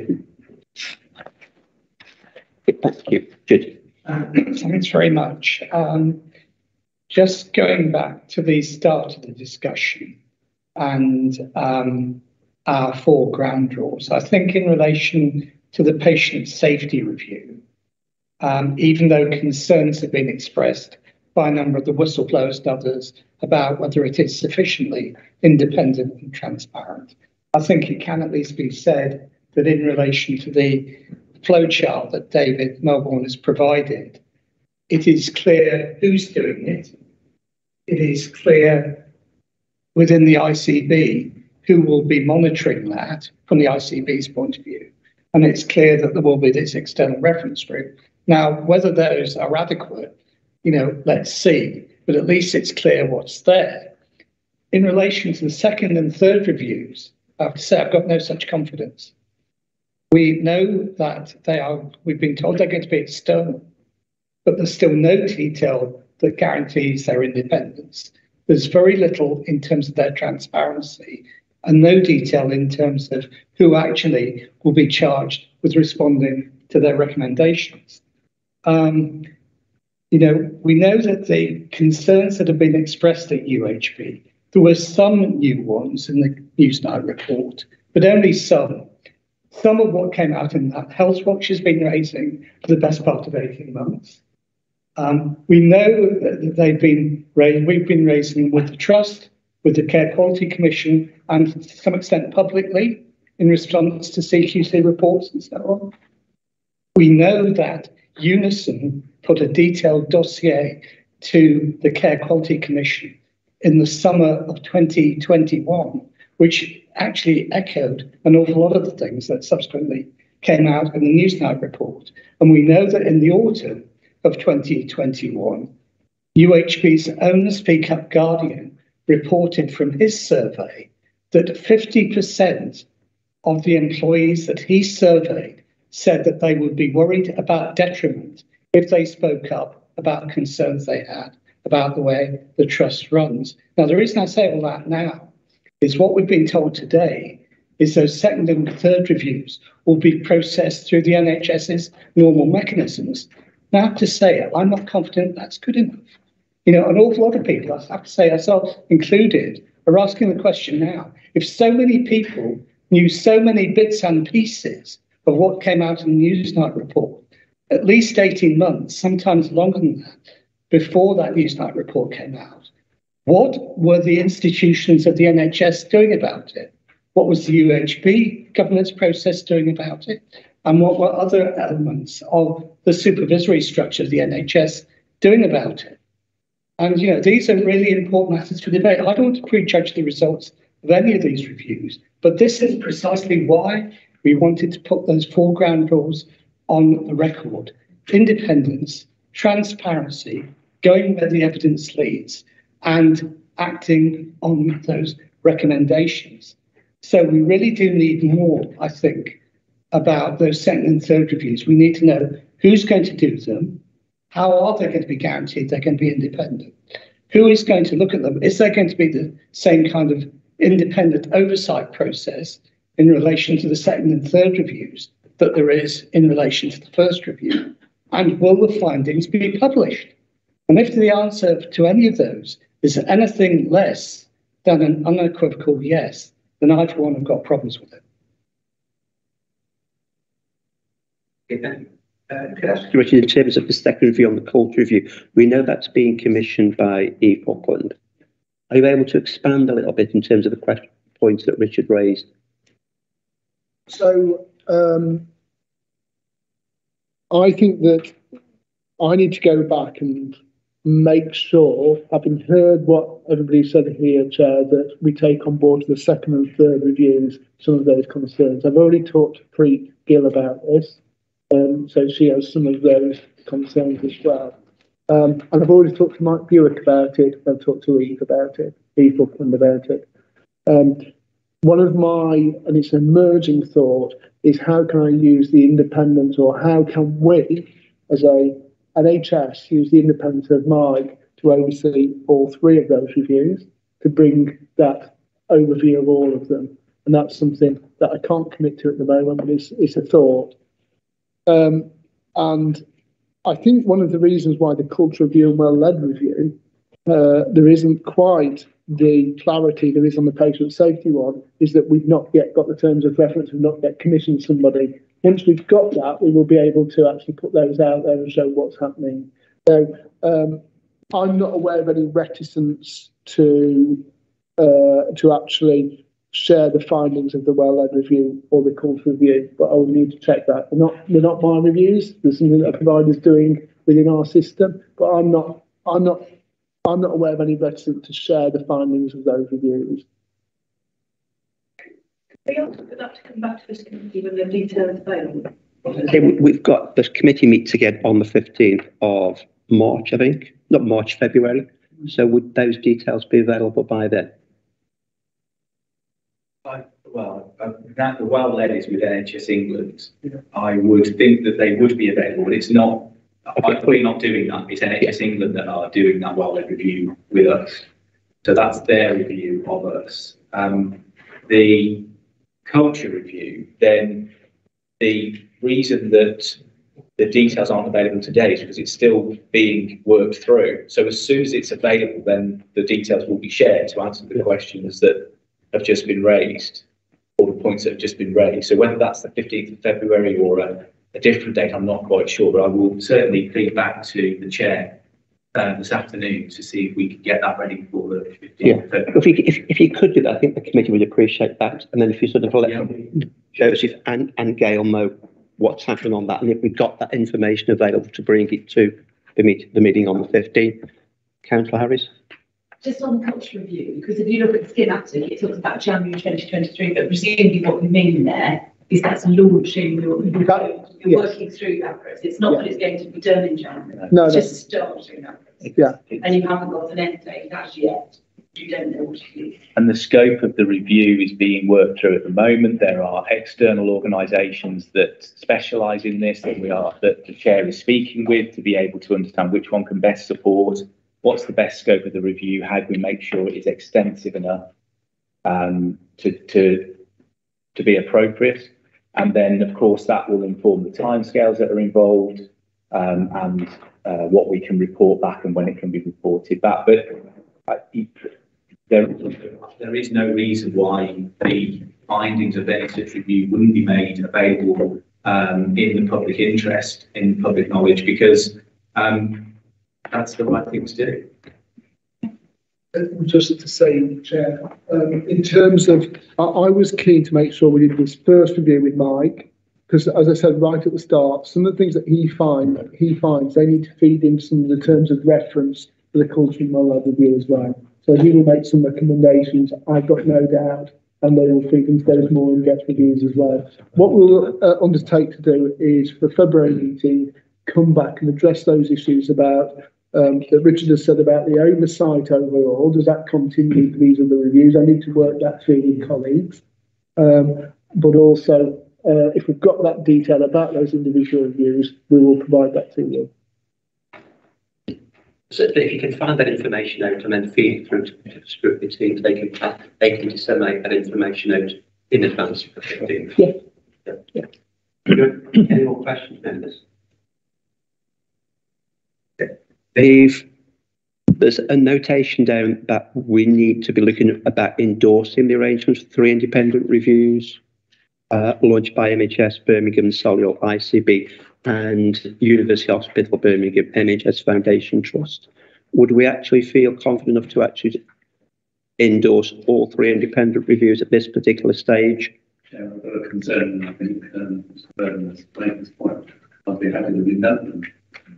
Yeah. Great. We go on the, on the notation? Yeah. Okay, thank you. There's uh, another note to say that we've invited the b- attendees laid back to a meeting of Joint HOSC on the 13th of March, which will be held here at two o'clock. Uh, but, but I understand there's an integrated care board meeting at the same time, which is going to make it problematic for Jonathan, David and Paul to actually to attend. But we've had a discussion with them before the meeting started about still going ahead with that date if at all possible. And they would send deputies to talk to talk through in terms of where they currently actually are with the process rather than delay delay because it wouldn't I think certainly from the Solihull people it could potentially start moving into your purdah period, which we which we'd wanted to, to avoid if at all possible. So is the committee happy with that? That next time in March the the organisation send through deputies rather than the three speakers we have today. We happy with that? Okay. Th- thank you for that, and thank you for the presentation, and thank you for the questions, members. The next item we've got is the West Midlands Ambulance Service University NHS Foundation Trust Review, and we've got David Melbourne again and Mark Docherty, who's the Director of Nursing and Clinical Commissioning, and Vivek Khashu. Hope I got pronunciation correctly. Old words, it's all words. It really, who's the Strategy and Engagement Director for the West Midlands Ambulance Service. This here is to consider the West Midlands Ambulance Services activity and conveyance to hospitals, lost hours due to handover delays, response time categories, and profile of serious incidents. Uh, so can I pass over to yourself to give, give that report? Yep. So good afternoon, everybody. Um, the local Birmingham residents, the first time I've been in the building, I actually got lost walking around outside. So um, before I get into some of the detail that you've got before, perhaps I'll spend a minute just talking about the organisation to give everybody a bit of a feel. So we were constituted in 2006. Uh, we cover the West Midlands conurbation, so right up to sort of Staffordshire, Herefordshire, Shropshire, on towards Coventry. We also provide PTS, patient transport, up in the northwest, so Wirral, Warrington, that area as well. Employed just short of 8,000 staff across uh, the region. Um, Birmingham actually for us is one of our biggest sort of hubs, so to speak. So we've got nearly a thousand staff um, split across Erdington and Hollymoor. They're two of our major hubs that we've got in Birmingham, as I say, in Erdington and. And they cover Birmingham and Solihull um, as an area. Budget around about 400 million pounds. Um, have been year after year after year the most uh, the highest performing ambulance service in the country by far. That's not the case now though, and we'll get into that. We'll get into that detail in a minute. Um, we're just trying to work out. I hope I wasn't being rude, but I was just trying to work out the kind of length of service we've all got on on our road. And I, I reckon it's probably 150 to 180 years between us. Um, and we've touched on it a little bit, but what we're dealing with now, I mean, I hope I can speak for colleagues. None of us have seen our situation that is out there when it comes to urgent and emergency care is not something.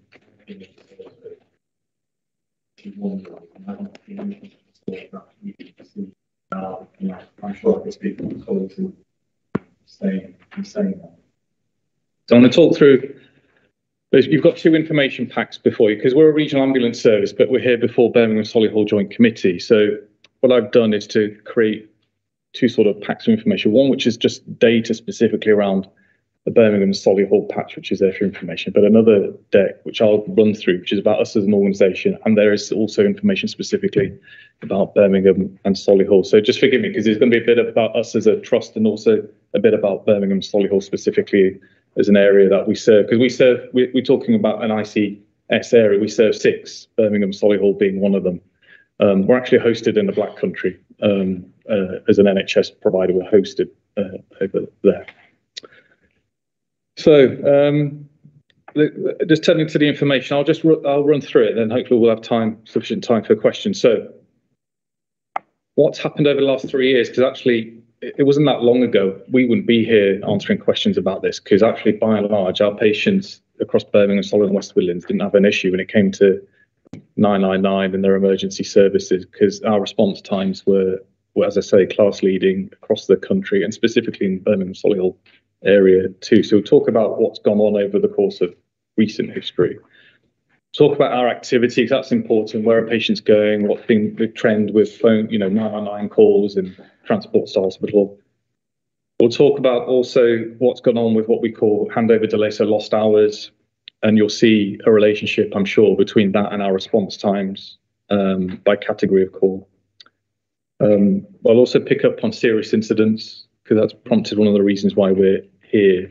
We'll talk about the serious incidents and the profile, what, the, what, what the numbers, the profile, what, what their makeup. There's two slides where we've listed out all the actions we've taken. I'm not going to go through those because it's two long slides. I'm just going to pick up on one where the sorts of things that actually have made a real difference. And between us all, they've made a real difference.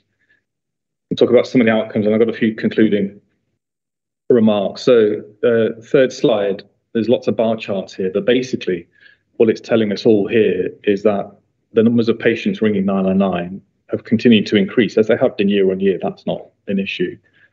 The numbers of patients we've taken to hospital over the last couple of years have started to decrease.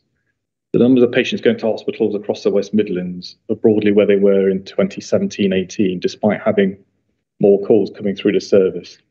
It's a mixture of things, but actually, one of the one of the things that is a key reason behind that is all the alternative pathways that we've got for patients now and infrastructure we've put behind managing patients' needs um, slide four, the next one. Um, this is quite this is quite a significant slide for us. So clearly we take patients to hospitals. We've all seen the news, what, what's happening out there, not just in the West Midlands but and beyond. But that's what's going on in terms of our resources. So at peak, we've put out 380 to 400 ambulances across the region. Birmingham would have 25% of that. Black Country would have another 25. So half of our resources are actually split across Birmingham, Solihull, and the Black Country. And that's because that's where the population density ultimately is. Out of 380 to 400 ambulances, not necessarily this week, but in times gone by, could have 120 to 130 of them stuck. And there's nobody who can trade and do their job with a third or a quarter of their capacity not available to them. It's just not possible. And though, though what you're seeing there are, are lost hours, it's in hours. I guess 45 It's peak, that's December, peak 45 lost, 45,000, sorry, lost hours. I'd hazard a guess is probably 130 ambulance shifts in a day. Um, you know, that's the, that's the sort of scale we're, we're talking about. But you can see in prior years, it was it started to increase year on year.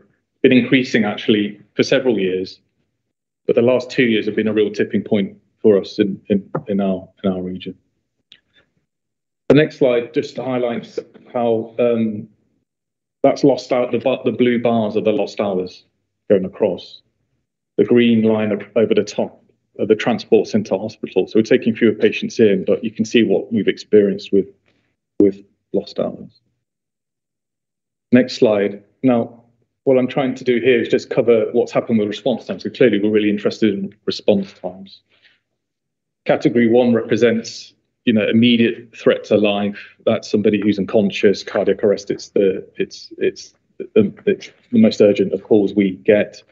And you can see up until around about June 21, that wasn't an issue to us as an organisation, but it is now we get perhaps around about 150 of those calls a, a day. It's actually a minority of what we do, thankfully, because clearly we don't want people in that sort of situation. We go to the next slide. So category two gets a lot of attention because that's around the chest pain, the query stroke, the severe shortness of breath. It's that sort of call. Again, um, you could see up until June 21, we didn't. We were, I think, one of the only ambulance trusts actually deliver the CAT2 response time standard. So that's an average of 18 minutes that's the target, you can clearly see how, how far it's blown out.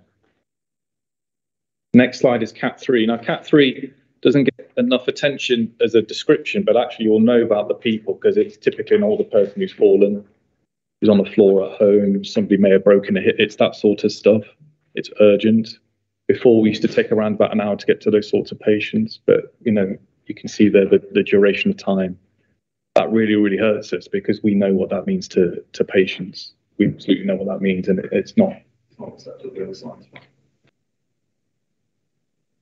So, serious incidents. If we go to the next slide, um, essentially with the rise in response times for patients, we've had an exponential rise in the serious incidents, and, and why wouldn't we? If we're not meeting patients' needs and not getting there in time, if somebody's felt the need to ring 999 and we're taking hours and not minutes, of course, it stands to reason there's going to be a significant level of harm to patients. And you can see as as our response times have deteriorated, you can see what the impact has been year on year. So the, the sort of tunnel colour that is, like a yellowy orange, that's the current the current year, current sort of financial year that we're in. Go to the next slide. Now this is Birmingham Solihull specific information. Um, three quarters of those serious incidents are linked to more than three quarters, sorry, linked to delayed response.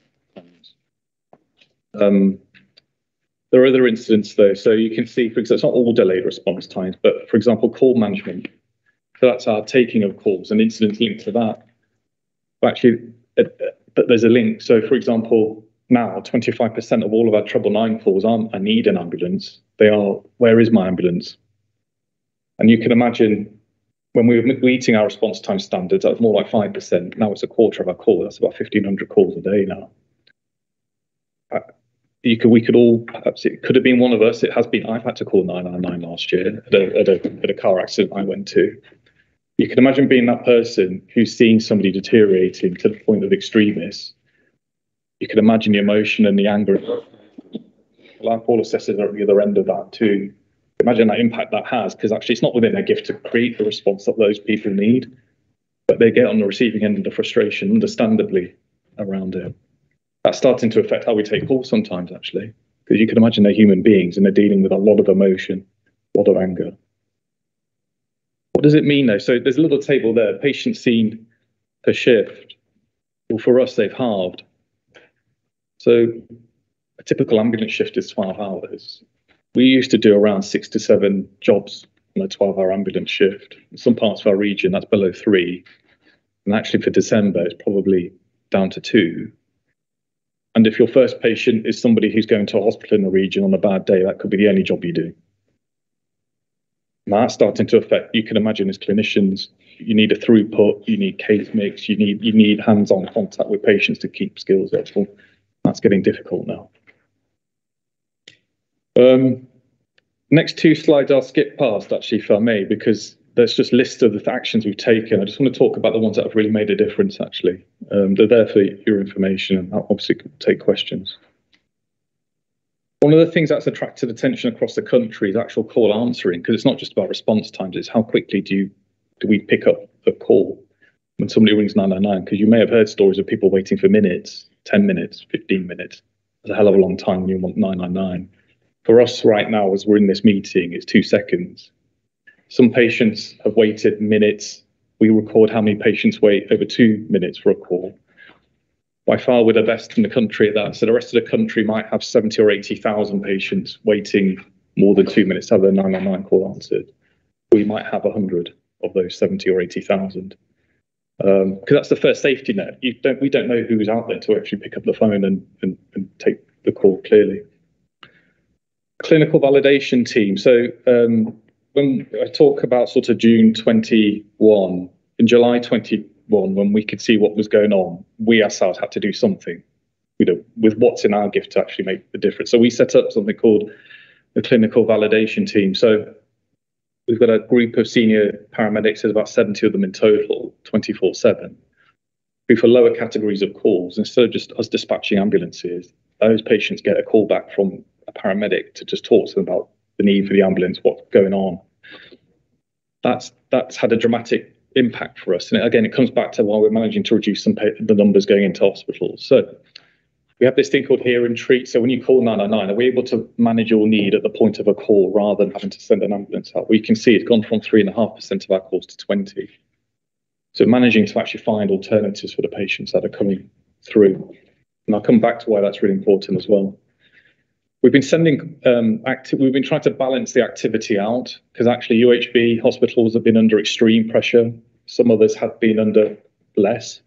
So we're moving activity away from UHB to just try and balance things out. I have to say, actually, for the last perhaps two weeks now and a bit longer, that the need to do that has reduced because actually the system has been in a better place.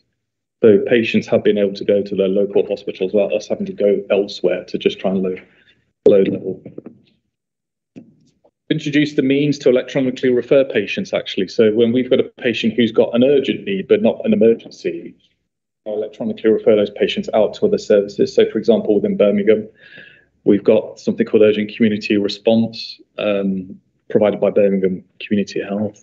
Um, we're now pushing over, we'll be referring 100 patients a day. We have done this week. We've been starting to really peak at those sorts of numbers. They're taking 30, 40, 50, 60 patients a day off our hands. Those would have been patients otherwise that would have had to have had an ambulance, actually having their needs met by Birmingham community. And we're very grateful. We're very grateful for that. Because actually, in the context, if that wasn't there, sort of having our colleagues in community responding in a couple of hours, those patients would be waiting 12 hours or 12 hours, you know, or 15 or even or even longer. Um, the ICB, and this has been a joint scheme between us all actually, um, funded a significant investment our organisation to provide what we've called a, what we term an ambulance decision area. So we staff across the UHB hospitals group um, receival area. So it's our staff who, who, are jointly working with UHB colleagues to to actually convey to our staff. So our staff are now turning up with a patient, and it's our staff who who are embedded in UHB who are taking the handover off those colleagues to enable those colleagues to go it's helped with stuffing in emergency department. It's given our staff a new role to actually develop into. So they're doing the first initial assessments and, and investigations for those patients. Um, and it stopped us having to have a random group of staff having to stay with patients at the hospital. We've now got a static group of staff who are looking after those patients. Because in the in the in the other pack, you see actually three months of improvement before December where we've gone off again.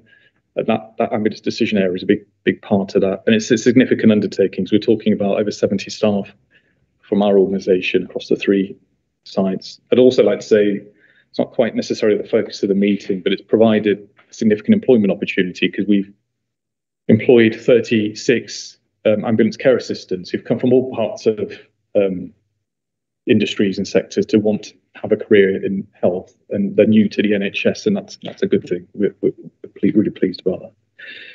But then the ICB again is invested in other roles. So, for example, we've got a role of hospital ambulance liaison officers. So they're people managing the interface between our crews turning up in the emergency department and the hospitals, like an interface role.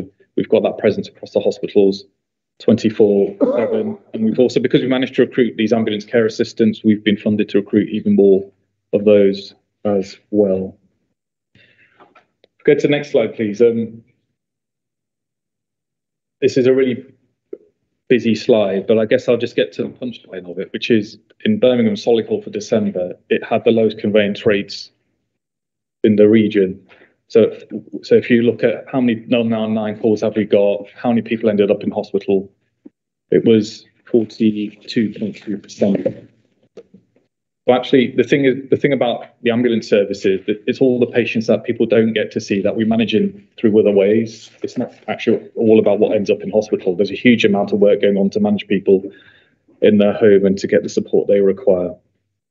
Go to the next slide again, and that that's that comes back to the point I made at the beginning about fewer and fewer people going to hospital despite more demand. Um, Next slide. Uh, again, specifically in Birmingham Solihull, you can see we've got a sustained reduction of patients going into hospitals. That means ambulances don't get stuck because they never went there in the first place. That means they're available for the next patient. So I guess in all of this, the ask of our partners is do your level best to manage people at their place of home or wherever they may be. And between us all, do our best to not convey. And between us all, we're managing to make some real inroads into all of that. But my concluding remarks, so you know, we had, I, I started by saying we had a track record of meeting or exceeding all of our response time standards year after year after year. But that has not been the case now for nearly two years. Why? Well, clearly it's a complex problem. You guys will be familiar with it, but we started this problem been brewing for years because actually four hour waiting times, trolley waits, all these sorts of things have been rising for years. And that's affected us, but we got tipped over that. We couldn't, comp- there's a point where we just couldn't compensate for it anymore. I think if we, if we cast our minds back to that time, that's when the NHS reo- you know, had to reopen, it, its patients re-engaging, its clinics running, its operating lists, its, its resumption of services, and a lot of latent demand that was not being met service, also whilst managing really complex issues of ongoing infection prevention control outbreaks. COVID never went away. You know, our productivity, not just with us, but through hospitals, has been severely impacted by having to manage peaks and troughs of so patients still with COVID, now with flu, those who haven't got it. You know, it creates horrible inefficiencies in a in a in a patient pathway. Our serious incidents have effectively tracked our inability to, re- to respond to patients, and I hope I've made clear the relationship as to why we didn't suddenly become incapable. We didn't suddenly just give up and say we're just not going to bother responding to patients because we did it for years. We're not able to do it now. Um, I'd like to also say we've had a lot of support. So I'm not, I'm not, I'm not, we're not sat here to throw any shade at any part of our system because actually we've had actually what amounts to millions of pounds of investment to try and make the difference. And they're not just in with us, but other partners Birmingham Community and others too to try and make the difference. But in terms of us specifically as an organisation, the scale of this problem is far far bigger than our ability in isolation to address it. Because if we could do, we absolutely would do. And I'll stop there and take any questions or comments that colleagues may have. Yeah, thank you. Question about uh, response. And personal experience a number of years back that, uh, I know I had paramedics and a paramedic drive. Was there probably about thirty minutes before the ambulance. If that hadn't happened, then probably the person wouldn't have made it. Does that still happen? And there's still those fast response paramedics that come out in advance of an ambulance? The model we might make, if I, if I, um, if I mischaracterize the model of care, Mark will correct me, but we've moved away from solo responding staff um, to a different, a, a very different kind of model. So um, each of our ambulances have a paramedic on board. That's not the case in any other ambulance service. So if we were to go to a neighbouring one, maybe only 30% of the ambulances actually have paramedics. They have other grades of staff. So there's, there's kind of a dichotomy. We get paramedics doing it like a, a solo response. But what happens when, they, when that patient needs to go to hospital? They're not going to get you there on the back of a motorbike or in a car, are they? So an ambulance has to then come. What the country seat finds is that when you that person may get there quickly, but then they're stuck there for hours. You've got two, you've got the ambulance then turning up. So what when we've looked at that, and the reason why we changed our model of care is actually it's a less efficient model. Because when you look at what something we look at, which is resources per incident, that model of care requires more resources per incident. It's inherently less efficient. So we wanted to get an ambulance to a patient because it either can make decision to leave you at home, or if you needed to be transported, it's there to transport you. And as I say, prior to two years back, nearly, we didn't have an issue of responding with an ambulance. We didn't have to send fast responder. So, so a good example of what Vivek is describing is if you've had a stroke. So what you need if you've had a stroke is you need to get to a hyperacute stroke unit quickly. So a motorbike doesn't help in that respect. Um, what we are now looking at though is that period of time between calling and getting an ambulance because as Vivek said, we've never had a problem getting there quick up until the last probably year and a half, two years. So if you're in cardiac arrest, getting an ambulance 15 minutes later probably isn't worth it, you know, because you, you're almost certainly going to be dead unless someone is with you to help you. And so one of the things that we're actually advertising at the moment to expand our first responder scheme so that it's the first responders. So in cardiac arrest, that's a good example where even an ambulance getting to you in seven minutes is too slow. You need someone there, usually with a defibrillator, so if you're in a shockable rhythm, they can help you quickly, and then the ambulance gets there to stabilise and take you onward to, um, you know, usually a specialist centre. So um, we've got to look at the model we've got because um, we're not going to get back to where we used to be, is my view. Um, you know, Vivek's been in the service or in the health service 21 years. Um, I've been in nearly 40 years. Uh, so some of this stuff I have seen before. I've seen long waiting times in hospitals, a lot longer than they are now. They're going to go up before they go down. From my experience, um, promises you get given the money on it, but they will not go down before they go up. Because that's the nature of what happens. But I don't work in a hospital, so my job is to talk about the ambulance service. But None of this stuff that Vivek's spoken about is due to COVID. Okay? But don't believe anyone that says we've had a bad year because of COVID and that's what's caused this. I was writing about this stuff seven and eight years ago and I didn't know about COVID, did I? Because I couldn't have done. So it was going to happen. It happens to have happened quicker because of COVID. But the delays at hospitals were always going to reach a peak in the way that they have. It might have been next year or the year after.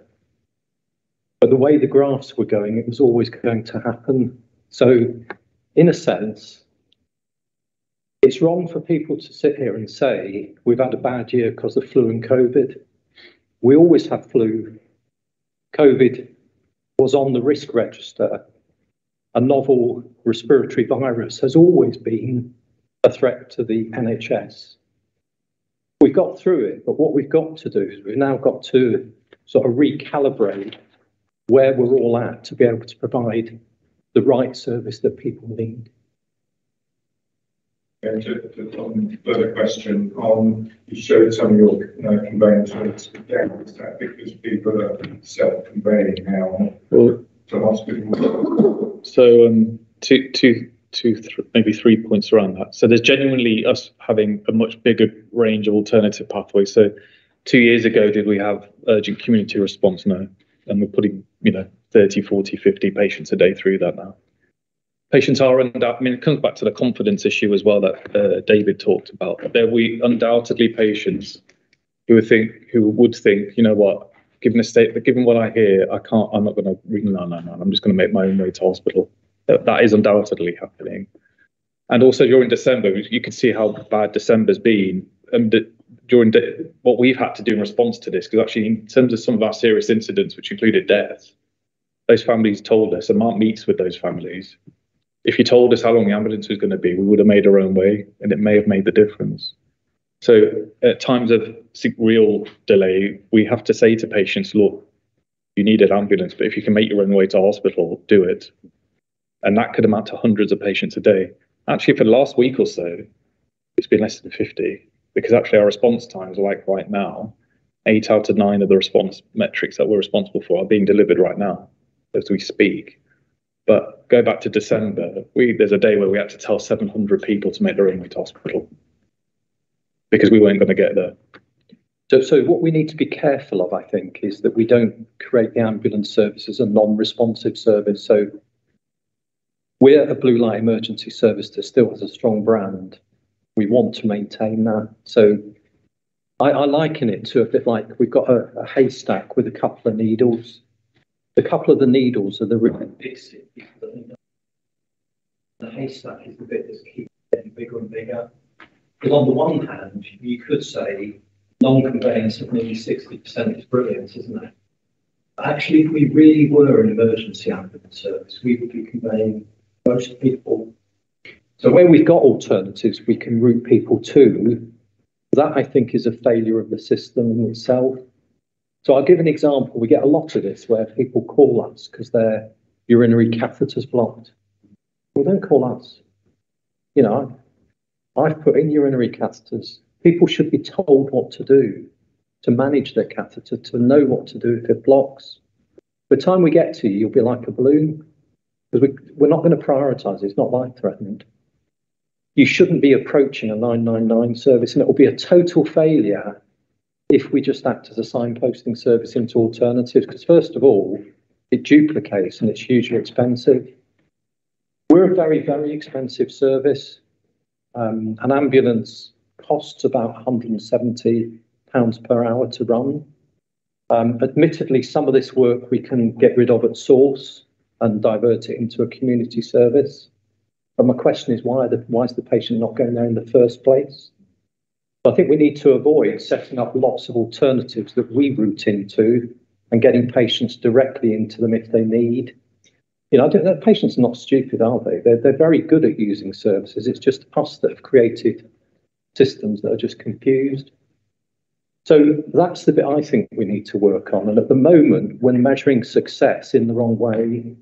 So if you look at the national stuff, it's all whoever's got the highest non-conveyance is doing really well. And I think we've just got to turn that onto its head and actually say, let's get back to the situation where someone that needs an emergency ambulance gets it very, very quickly. So some of the graphs that Vivek put up hide a lot of stuff. So if I was to say to you during December, some patients that were in the category three waited three days three days for an emergency ambulance. Get to Australia quicker. You know, it is an appalling service when the response times are that bad. Category two, can't remember, nearly 24 hours, wasn't it? I think from memory. We're reporting at our board next week. If anyone's interested, you can get our board papers on, you know, in the public arena. In my report to the board, I've started to report the 20 longest waiters in each category for the month. And December truly, truly dreadful. And for that, I apologise. I'm really sorry. Thank you. Uh, got for more? Uh, Chair, my, my question's sort of been answered because um, I was going to ask what, does the ambulance service do to triage what comes through? Because yes, there are a lot of people who are needing medical emergency and they should be prioritised, but sadly there are a lot of people who do not. And even it's because they have the ability to make their own way through as you touched on, you do recommend that sometimes. We also, there's a lot of people who, for whatever one, whatever reason, clog up the service, and that's not just unique to the ambulance service. I know that's a problem at A&E, I know it's a problem at police as well. Um, what's been done to try and filter that out so that resources not being wasted on those who do not need it, and it's being prioritised, particularly given the severe pressures that the ambulance services are at the moment. Because I know of certain cases uh, where sadly this does happen, you get people who will basically pre-COVID will ring through ambulance every day, and I assume they're not getting it at the moment.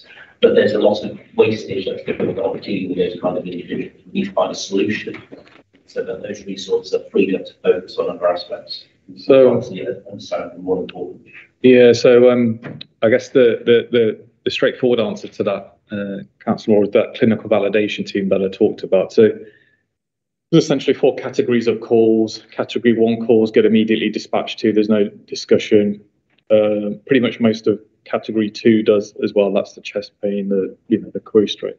Category three and four, we do not dispatch ambulances to until there's been a clinician conversation with the patient and where we can talk to them about what their needs are.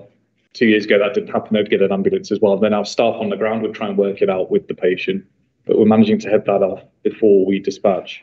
And as I say, that's enabled us to treat a significant chunk of people without actually having to send ambulances out. That was the big contribution we could make to this problem in terms of just trying to sift the queue that bit more aggressively and, and also to try and meet patients' interests in the right, right way. I mean, there's very few patients actually call us inappropriately. Um, usually when you talk to them, they've tried everything. You know, I've, I've known patients go into walk-in centres to be told they're not allowed to walk in. Um, they've got to go through the GP. Well, they've tried the GP, they've tried 111. You know, it, it, it's a really, really difficult sort of thing to navigate around if you're not. Even I have problems. Um, you know, an example I had when my father-in-law was dying, he needed some pain relief. The only way was to ring 111. I was here. He was in the northwest. The same number. You can't get through because you get through to the, you know. So there's little things like that that they're frustrations. Even if you know how to navigate a system, you know, there's um, people tell us it's difficult to get into see GPs, for example. I don't know how hard they've tried, but if they tell us that, that's a common story that people are telling us. So we're an easy service to access, but actually some of the waiting times have become so long that we're now putting people at risk of dying because we're getting to the wrong people sometimes, or everybody's waiting just too long, you know, and we've got some horror, horrible stories that um, people that are very young, for example, dying of cardiac arrest when they shouldn't. So, you know, when Vivek talked about the serious incidents, they've more than quadrupled and they're still going up, um, which is very, very distressing for us in the service because it's not why any of us have come into the service to. Is there an element of people wanting to speak to, say, a paramedic or something like that, to give them the reassurance? Because I know something with some GP, that's like, yeah. it's not actually, they've been signposted to someone else in the GP practice, and it's the GP they want to speak to, not the nurse or something Yeah. like that, because they're, you know, they want to speak to the GP, because in their view, they're the most qualified person until the GP says that. Yeah, I mean, you, you, you, you do. that's sometimes the problem I've encountered, that they have actually, when they've tried to get through it, been signposted to someone else to free up GPs to focus on those who need a GP, um, rather than through services that can be dealt with through, through a nurse, for I mean, example. you, you get that. So when you had the re, the recent streptococcus um, infections, you know, people want that reassurance. You know, a sick child when there's that going around, it- or sick anybody, but particularly with the children, people were wanting reassurance. Our calls for things like that did go up. Um, that in itself, I don't think causes a problem. I mean, I think the, the biggest thing from our point of view is that by definition, we're an accessible service. You know, if you call 999, more often than not, we'll answer the phone after it's been put through by BT before you even hear it ring. You know, two seconds is usually our performance for answering. So if you've just spent, you know, an hour trying to get through to your GP surgery, but you call us and you get a call answered within two seconds, it reinforces that as an easy gate to get through. Um, and, and that sometimes, if you've had a good experience through that route, well, you go and tell everyone and then you use it again, you know. But what it means is the people that need it quick were, were then a little bit, you know, the needle in the haystack sort of, the needles are not getting more frequent, the haystack's just getting bigger and bigger. I mean, I've got a bit of personal experience with that because my wife is a GP in the in in inner city Birmingham here with her dad. Um, who, who at the age of 76 is still working full time as a, as a GP. Um, so I, that happens. But actually, when she talks to me about the discharge summaries, because they get the GPs get a discharge summary off first when she reads it, she'll be sat there thinking, why did you do that? You didn't have to do that. And that's another thing. There's there's, there's another there's another debate for the HOSCA another day about primary care access and things. But actually, problem is we've got the media portrays a particular point at a point in time what's going on, but actually, for example, in my wife's case, every child that um, a parent wants to make an appointment for is guaranteed a same day appointment. But actually, thankfully, most people don't actually have to go and see their GPs very often. But if you would see what and hear what you believe, you wouldn't think it was worth ever speaking to a GP. And that's an issue, isn't it? it? It comes back to that point about confidence in health services. We need to regain confidence, the people's confidence in the services that they've got. So it does happen, but I, I, I would personally, I mean, my own personal views, it's not, it's by far not our biggest problem. It does happen, but it's not our biggest issue. Thank you. Or councillors Sexton, Pocock and McCarthy in that order. We're running out of time so I could ask you to brief in the questions and brief in the responses, please. We've touched briefly on self-transport, um, and this is something I had some experience with as um, I was called 111 with a rapidly escalating infection and was told that I should have an ambulance. We don't know how long that's going to be. Can you get there? And fortunately, I was lucky that I had a friend who could take me. Um, but then I had another experience when I was sat with somebody in December who sadly he had a stroke and he'd been told that we'll send an ambulance out to you and he'd been waiting over four hours. Um, and when his wife called and said, should I bring him myself? The ambulance, um, the, the, the, the um, corresponder said, no, we don't advise that. Can I ask what your policy is about advising people whether to self-transport or not self-transport um, and uh, how, yeah. So when we're able to get to people in a timely way, which like Vivek said up until a couple of years ago, we were, then it's very clear for things like that, we don't advise it. Um, because it's, it's, it's inherently unsafe. Um, but equally, we never used to advise people that had fallen to move or drink or take tablets. Now we have to reconsider what the advice is in the nature of where we're at. Um, so we do now advise, for example, frail elderly people that have fallen. We say, don't stop drinking, don't stop eating. Actually, get into a comfortable position. Getting off the floor is probably less unsafe than moving, if you see what I mean. Um, so there are things where we are reconsidering the advice. Um, the difficult thing for us is knowing how quick we're going to get there. So, for example, most of those things, um, the, the example you give, fall into our biggest category of calls, which is category two. Um, now, you might be lucky in that an ambulance is driving past and it's not it's not on another call and it will call straight away. So the distribution curve is quite um, varied. It can be sort of quick within a few minutes, or it could be five hours.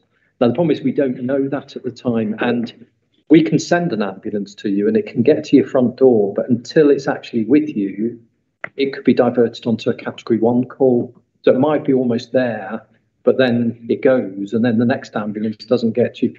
Hugely, hugely difficult. Whereas so a couple of years ago, we could predict down to the minute when you would get it. So it's one of the reasons why we need to rework out what it exactly is an ambulance service is there for. Is it for everything, the catch-all for everything when nothing else works, which is what we're currently doing? Or is it specific to emergency and urgent care? Um, now, the risk at the moment for us is so if you take the frail elderly fall, the example I gave, some of those people, had we got there within an hour, we'd have picked them up, put them on the chair, they'd have had their dinner, they would never have gone anywhere near healthcare. Now, when they're on the floor for 15 hours, they're now dehydrated, confused with renal failure and muscle wastage, and they will definitely need admitting. So we're creating our own workload going forward, and we've got to we've got to get away from that. So um, we're rethinking through you know, you may have fallen and fractured your neck femur, but that doesn't mean you have to lie on a hard floor on a cold environment. You're going to be less harmed if you get back to bed or if someone helps you. So um, it's a difficult question to give a categoric answer to. What I would hate I'm actually leaving at the end of March. I can say this with conviction. I'm absolutely convinced the ambulance service is um, rehabilitatable, so to speak. We can get it back on its feet, but we've got to focus on. I, I'd hate the scenario where a stroke patient is trying to get to hospital when we are on the phone at someone's home trying to arrange a district nurse. Um, I think this is a particularly difficult case with strokes because when I've spoken to healthcare professionals, they've told me if somebody's had a stroke, you need to get into hospital as soon as possible by whatever means. Um, and You've got to be careful of the messaging though. So we had a road traffic collision recently where I think you were telling me when the patient was on their way to. So we've had, um, just by happen, by chance, I was with one of our staff members, one of our managers, uh, earlier in the week. And he, um, so we, we, so talking about solo response, we send a, a more senior manager, uh, to respond to traffic collisions to support the scene. In two cases, the individuals had a hospital address in their sat nav. They were trying to get their own way to hospital and lost control of their vehicles because one was having diabetic hypo. It's not a good thing to do to drive a car. The other person had a broken arm. He was trying to drive his car, the and lost control. So they were trying to make their own way to hospital, and obviously it, wasn't good. Um, and that's why the messaging is really important because I'm aware that there are certain drugs that can only give, be given with a, within a certain limited period of time after yeah. having a stroke. Yeah. And so presumably some of these patients may now be breaching that so, time. So I'll, I'll, give you a couple of examples there that are real examples. So um, I've got a member of staff that works in my team that had a stroke a few years back. We got him in for thrombectomy and he's back to work. He's not he's not completely back to the hundred percent, which probably ninety five percent. He's leading on sort of medicine management for me. I say this, I know he wants this story to be out there. We had a patient. Um, it wasn't in Birmingham, and Solihull, but it was over at Telford Hospital. So the gentleman walked in, became unwell. He clearly had a stroke. Was scanned um, he was in the very early stages of a stroke, so they arranged for him to have thrombectomy up in Stoke. It took four hours to get there. He was outside of any treatment window. So sadly, he died. Sadly, he died. Whereas, had that not happened, he was 52, he'd have been back at work, paying his taxes with his family.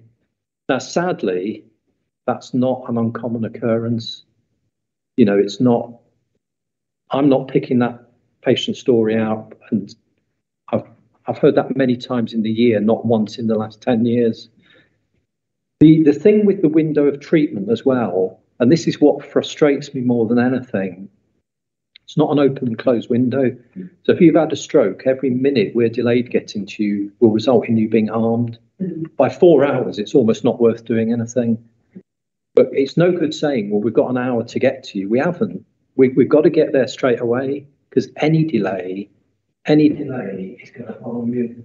And that's why we find the whole issue of handover delays so frustrating and indeed unacceptable because people just don't get it. They don't get the bit because often people will come back at me and say, look, we're all right with that. The patient's safe in the back of the ambulance. Yeah, they are. They're lucky. They've got the ambulance. It's the people out there that are waiting for the ambulance that isn't coming.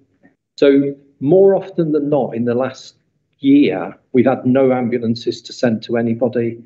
The next ambulance available is the one that becomes available when the patient's taken off it at the hospital. I think perhaps this is quite particularly important review what the advice is being given based on what's safest under the current circumstances. Except that's not the answer. The answer is get those ambulances unloaded because, like Vivek showed, we ain't taking loads of people in. So it can't be that, can it? Sure. Um, the other thing is just to focus people's minds. The, the, the, the figure that, that, that Vivek put up there for December, those lost hours have cost eight and a half million pounds. And it's not just the financial cost. That eight and a half million is a lot of money just to lose. They're vehicles that are fully staffed. So we're not saying we're short of staff. We're not saying we're short of resource. What we're saying is we just need that resource to get out there and be productive. So financial loss, but the opportunity lost your. I mean, in terms of the advice, I'm not suggesting that's an alternative. I'm just saying in the meantime. But I'm aware that we're short of time. Um, can, can just we really are shocked. So if we come back to you possibly later on, we're going to need to get Councillor Pocock and Councillor McCarthy. And obviously we have another item to get attended to within today's meeting. Thank you. Councillor Pocock. It's actually a great one. I'm sorry to hear that you're leaving this month. Um, I was appreciated that you've got to be given in a very honest and accessible way. Um, it's a shame we've diminished so much um, careers. I'll put another 20 years in, I'll get there. Um, well, candid enough to say several years ago you could see the problems coming. I just wonder who wasn't listening at that time, and do you feel they are now listening, and that there is a way forward that um, responds to the uh, analysis that you had in the past? Yeah, so uh, I'll try and be diplomatic and honest. Um, so some of you may have seen I got some media publicity back in May through no touting for that. I happened just to answer a question to a health service journalist, and um, I've been plotting this for many, many years. Um, and uh, I, I analysis, the tipping point was always when we lost 30% of our hours to handover delays. And, and for, for information, that's when we get to 60,000. And, and for December, we were at 45. So we're not away from that. We might not have reached that in the summer, but the graph is still going up. January was still going up until last week when it started. But we're getting close to that point where people will ring and we won't be able to say, well, we're going to get to you within any time. It'll be, you know, um, I think there's a number of people that weren't listening. I, I, I think all of the regulators weren't listening. Um, or if they were, they didn't do anything. Um, I, have got letters that I can very much share with you that will have names on of people that weren't listening, in my view, that are still there. Um, now, wh- whether it's that they didn't believe me or whether my message wasn't strong enough. So, just to give an example, um, I was saying that you know we've lost 68 hours in a in a day, and this is just going to get severe and it's going to cause patient harm. That was 68 hours in a day. We're losing two and a half thousand hours in a day sometimes now. You know, and that, that's a lot of resource just to, I don't know what the metaphor is that I can use here, but you, you know what I mean. There's a metaphor that it's not like we're short of staff where we can say we can give us as much money we can't deliver. This isn't per se a money issue. This is saying we've got the resource. We just want to be out there helping people. That's what we've all come into this service to do. We don't want to be, you know, as Vivek says, I'm spending every day going around meeting families and apologising for their relative or loved one dying when they shouldn't have done. It's hard for us because that's not why we've come into the service, and it's entirely preventable in my view. Um, but yeah, if you want to know names, I'll share some letters. I've got two Lever Arch files full of them, so. Come back as a service improvement consultant. yeah. yeah, and I wouldn't go to America for three weeks if it were me. Thank you, Councillor Right, a bit brief. Uh, why don't we use technology like uh, the video and the camera so you can see the patient? Because sometimes you're stuck with just an explanation with people not very good at explaining themselves.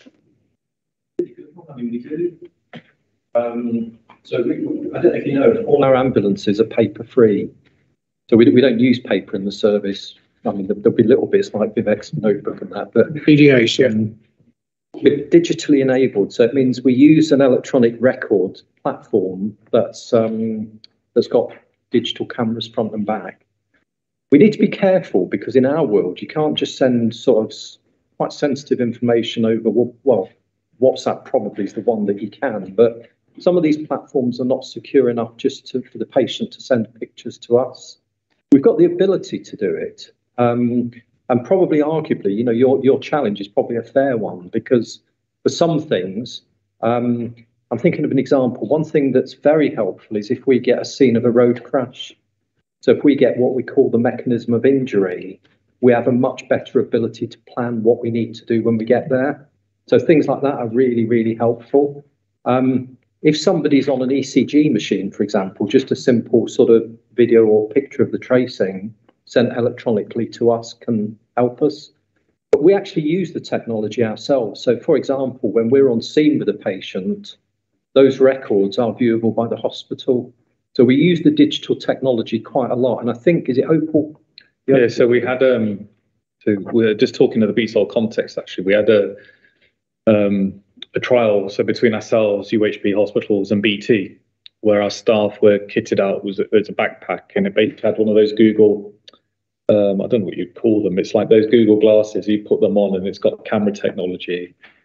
Also had an electronic stethoscope um, and an ECG device that could transmit. So what we would do if we'd go to an older patient, the guys would put the kit on and they could have a direct conversation with consultants over at UHB who could then see the patient through the Google glasses. So they're able to then speak to the crew about examine this, have a look at that, do this, do that. Um, that was really, really high end kit. Uh, that was ex- almost experimental as a package, but actually proved its worth. And I think that's kind of the thing you're talking about. Yeah, no, my question was a bit simpler. Why can't the uh, person that's called you on a mobile just go have a look at that? I mean, there's a number of issues. One, getting people to be able to do that quickly, which there's been no attempt to. Most people would be a little bit balked by that at the moment because we haven't tried to set it up either on the NHS app that just says, and it's a non-savable picture, so there's no GPDS. It's just so the call handler can get his information quickly by seeing I, know, I know. is the person on the floor. It can always, oh yes, okay. Rather than having to go through a long. Still be The answer is actually still five hours at the ambulance, and that's the bit we've got to resolve. a lot of these people have fairly straightforward things. You know, the the Philadelphia Four being the example, it's probably more distressing for us just to see it because we know there's nothing more we can do because we haven't got any ability to do anything anyway. You know. the, um, the other thing I would just add is that all the all the calls are clearly recorded at our end, aren't aren't they? And the people taking the 999 call aren't clinicians. They're really they're following a really strict kind of protocol about categorization and dispatch or not. If you send them an image, they- they're not they're not trained, they're not empowered to do anything with that sort of, and nor could we record it. You know, we've got to be able to record the interaction with the patient, so we know that we've got a contemporaneous record with the. So that's another issue that isn't probably helpful. But there's a big opportunity to be had around telemedicine, not necessarily patient to ambulance directly like that, but actually us with patient with specialists and almost bringing the specialist input into the home, so to speak. That's definitely a, an area. for. Getting the right person into the ambulance quickly. I mean, people would probably need to deal, dial you on uh, one of the apps that, and that's how they call an ambulance because it's usual for audio until somebody goes, yeah, and then you, and that you can see, and that's all it is to it. No, no complication. What it would do is it would tell us if you're a cat one or not. Yeah, that's it. You can use your phone, conscious and breathing. So in that sense, it will rule you out of category one. category, you know, which some people say actually would be quite helpful. Because you'd be surprised at how many people say they're not. You just pilot it somewhere and see see what it tells you. Okay. Oh, by the way, uh, Councillor Slade's been trying to attract your attention. Oh, Just one, just one quick, okay. Earlier on, you allude to um, inappropriate calls to, to the ambulance service. Now, I don't know whether I've dreamt this, but a few years ago, wasn't there a really big media campaign? Yeah, yeah. Is that not something that you've thought of doing um, again? And Do you know what happened after that? no, that's what I was going to ask. Calls went up. Sorry? The calls went up. Really? I remember, I can't remember what the exact. Put things on this side of the ambulance that said only call us for chest pain, breathing, or I can't remember what. There were three things from memory, but what happened is it didn't stop the people that didn't have those things. But anyone, so you got the 15 year old that had just finished playing tennis, and so he'd ring 999 because we told them to ring 999 for chest pain when clearly it was muscular, sports related chest pain, you know. So, yeah, it, it, it actually surprisingly did the opposite to what we thought it would. Okay, so is there any work going on anywhere to think about how we can re-educate people? So I think all the evidence that I've looked at suggests you can't educate the public with things like this. What, what you need to do is look at how they use services and try and design the services as to where people go. So I know there's a lot of debate, for example, as where do you put urgent treatment centres? Do you put them in Solihull or do you put them next to Heartlands? And well, generally people would say, look at where the patients go. It's a bit like putting in footpaths, isn't it? If you put in a footpath that people don't want to walk, they'll only cut the corner across the grass, won't they? So because we put services in at certain places doesn't mean that's where people will go to use them. You know, we've got to make sure that if we put services in, that they're accessible and people will actually use them. So if you have to get on a bus, and you haven't got any money, well, you're not going to do that. Um, so I think we need to be careful when we put services. And then the other thing is, there was a great example. I mean, you'll know it up in Stoke, the uh, walk-in centre, Leek or uh, Haywood. So they built this lovely big new walk-in centre, and it got filled. You know, 40, 40 odd thousand people a year going into it, but it didn't stop anybody going to the the A&E that Vivek used to run up up there. So so it, it sort of fulfilled an demand. Yeah, yeah. So there's there's no plans to re, re-educate anybody? Well, there's, um, there's sort of national communications around choosing wisely and choosing well. But I guess our lived experiences, it doesn't make a jot of difference. We've got to build the services around where patients choose to access them and build a process. I'll give you a personal example. You know, I wanted to use my local chemist. I went there at three o'clock on a Saturday and it was closed. So I've tried to choose well and been unable to do so because, you know, it's not designed. I mean, I, I wouldn't have thought a chemist would close at three in the afternoon, but it did. You go to other countries, like when I go on holiday, the chemist shop seems to be the last thing that close at night, you know, and it just seems so much easier in other places. But, you know, I, I don't know, hopefully we can get all of this stuff sorted um, before, you know, before it's too late. Okay, can, I know Sec- Councillor Sexton would like to come in. I'm going to say I'd like us to actually to move on at this at this stage. Can I thank you for the pre- for the presentation? Can I thank the members for the questions?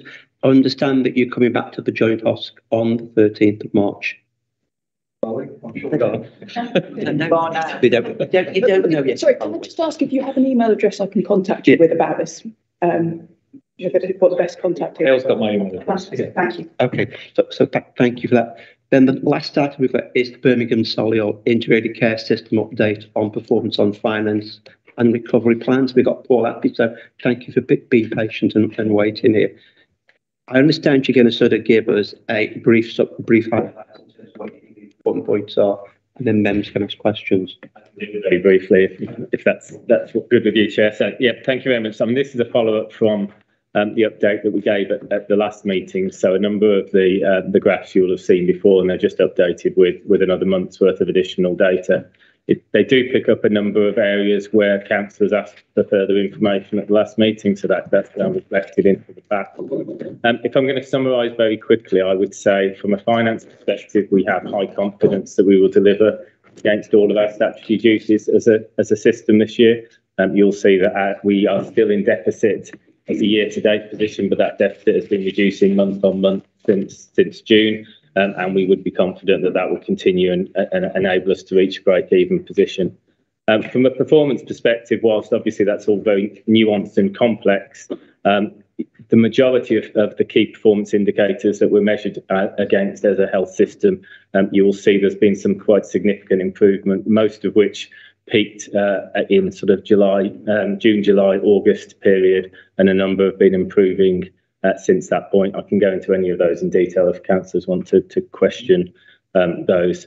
Um, that's not to say that we are anywhere near where we need to be at this point. Um, obviously, very clearly, there are still a number of challenges in the health service in general and in Birmingham and Solihull specifically. Uh, and, and there's a significant amount of additional improvement that is still required to get us to where, where we expect to be as a system and where, uh, where we need to be for our patients and citizens. But happy to take more specific questions based on where councillors wish us to, to go into. next question, question. Councillor. Thank you. Um, looking at the, the data that's presented, um, I seem to remember seeing a message somewhere. I think it might have been in the quality account um, about the proportion of patients receiving what they regard as adequate pain relief. Um, now, I don't find that in the most recent. I'm wondering if that's data that you collect. Um, Um, it would be it's, it would be likely to be data that individual providers would collect, and certainly the sort of thing that would usually be included in quality accounts. One of the things I'm wondering, with um, accident emergency rates increasing, I mean, obviously the total time is a concern and it's a concern for the system. But as far as the patient's concerned, actually the delay to getting adequate pain relief is also a very relevant factor. So I'm wondering if there's anything that can be collected or um, made available on that particular certainly go away and, and, and discuss with our providers what information is available. I know lots of people would be happy to wait a little bit longer if they receive the pain relief Yeah. sooner. Yes, and, and obviously, I mean, our, our, our providers do everything that they can to keep patients comfortable in those situations. Um, but, but yes, we can look into that. One of the things I'm a little bit concerned about is that in the hurry to bring down those waiting times, which obviously is a national target, sometimes some of the other things can maybe um, be made a lower priority. And I'm worried that, that this might be one of those. And that's based on the experience of myself and people I've spoken to. So it would be interesting to know if that data could be collected. Yeah, have, have to look into that. For Thank you. Okay, to- any other questions, councillor McCarthy? Looking at uh, the page on discharges, uh, what are we doing about the right to reside? reside? We've got 200 beds, and listening to the ambulance presentation, I think one of the things that's critical is the flow through the system. Because if flow through the system slow, you're always going to get a backup at the entrance part of it. Yes, so um, absolutely right, and and almost certainly the, the biggest single driver for some of our ambulance challenges has been that flow through through our hospitals. Um, it, it probably I would start by saying that in terms of right to reside, um, we actually, uh, as a system, are probably one of the more high performing systems uh, in the region and in the country, and certainly the support that we've had from social care colleagues and the work that we've been doing collectively um, does mean that actually, unlike the vast majority of systems and unlike the message that's in, in the media, the reasons that are, that are delaying our discharges generally aren't access to social care support. Um, the challenges that we do have are particularly that bit around flow through the hospitals. So there's been some additional work going into uh, to link our community services more effectively uh, into our hospitals. Um, there is uh, we're we're now um, following um, a pull model where a community where whenever a community bed is available, the community trust will pull from the hospital as opposed to relying on patient on, on the hospital pushing that through. Um, there is you'll you'll know that uh, from recent announcements there's been additional funding that's been made available during this quarter um, for us to purchase additional uh, packages of care and additional beds to help some of that flow through. Uh, and we are now on daily reporting for the number of uh, beds or number of additional packages that we're purchasing through that additional funding. So we're expecting that to help further to push uh, push things down. Um, and if I'm honest, a lot of this is also about just good practice within the hospital setting. So it's making sure you're identifying your discharges early, that you're getting all of your processes set up uh, to enable that discharge to happen in a, in a timely way. And I think there's some more work uh, that we can still do uh, as a system that will help with that. Um, but it's it's definitely something that we're focusing significant amounts of effort on.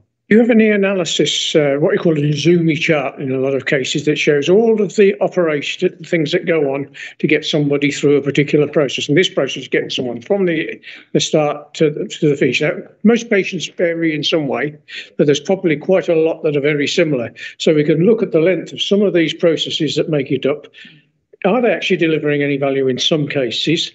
And also, how could could some of these things happen in less time to reduce the time it takes a patient to go through the system? If we could reduce just five percent of them, we'd see we'd get more people in. Yeah, no, I fully agree. Yes, um, certainly our hospitals will have done a lot of that sort of analysis, and there's a big push on trying to ensure um, that we get a proportion of patients um, ready for discharge earlier in the day, because obviously, um, whilst we don't want any delays, if there are delays, we would rather those those Mm. happening and to still enable us to, to discharge the patient. I mean, it is it is the traditional basic things like um, have they had the right clinical assessment? Have we ensured that drugs are ready to be um, prescribed and, and, and taken home? Um, have we ensured that that uh, home care settings are appropriate? Have we ensured that there's appropriate transport? But really basic things. Um, but as the health service comes under pressure, all of those basic things become more difficult to deliver. Um, so, so there's a lot of focus on that. Uh, but all of the work that we're doing about trying to just take that pressure out of the system will all help some of those those those elements work effectively, whilst we also look at the transformation of pathways that, that again add some add some benefit to that. You certainly got plenty to go at. Absolutely, Thanks, Stuart. Can I come back on that discharge planning?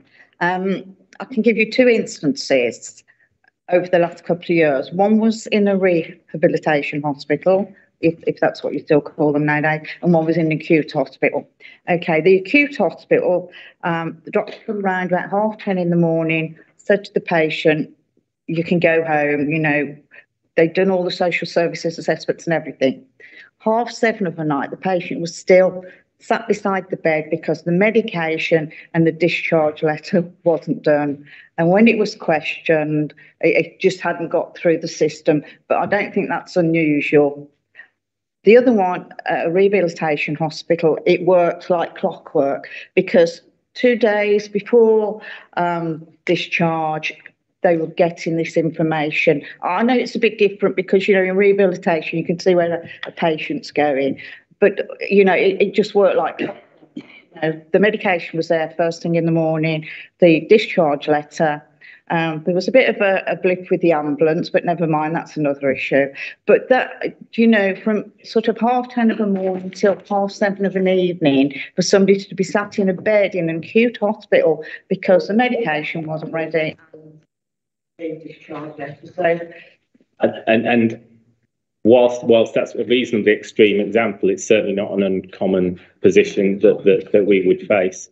Um, I would say that, that there is a significant amount of uh, joint system focus on this. So, so we, we now have daily calls uh, at an executive level and at an operational level, and there's an expectation that each of our providers are able to um, provide the numbers of people who are um, who are discharged or who are ready to, to discharge.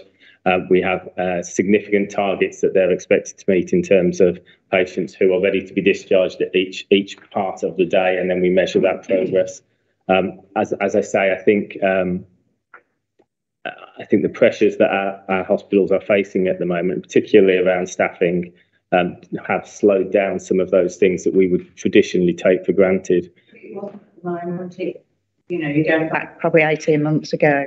Well, no, just after COVID, so pandemic. But, you know, it, no, it was actually, it was last summer. So, you know, I just, Yeah, there's certainly not new not new challenges, um, but probably been exacerbated slightly over the last, last six months and have have been one of the factors, one of many factors that have led to some of the challenges that I think have been faced over the last last couple of months.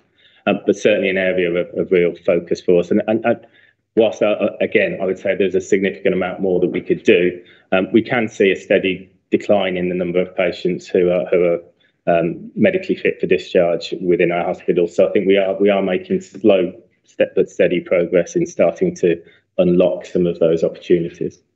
in the old days, you have discharge lounges, hadn't you? And we and we still do, and we still do. And actually, that again, um, some funding coming out has come out in the last couple of weeks for providers to expand space for discharge lounges.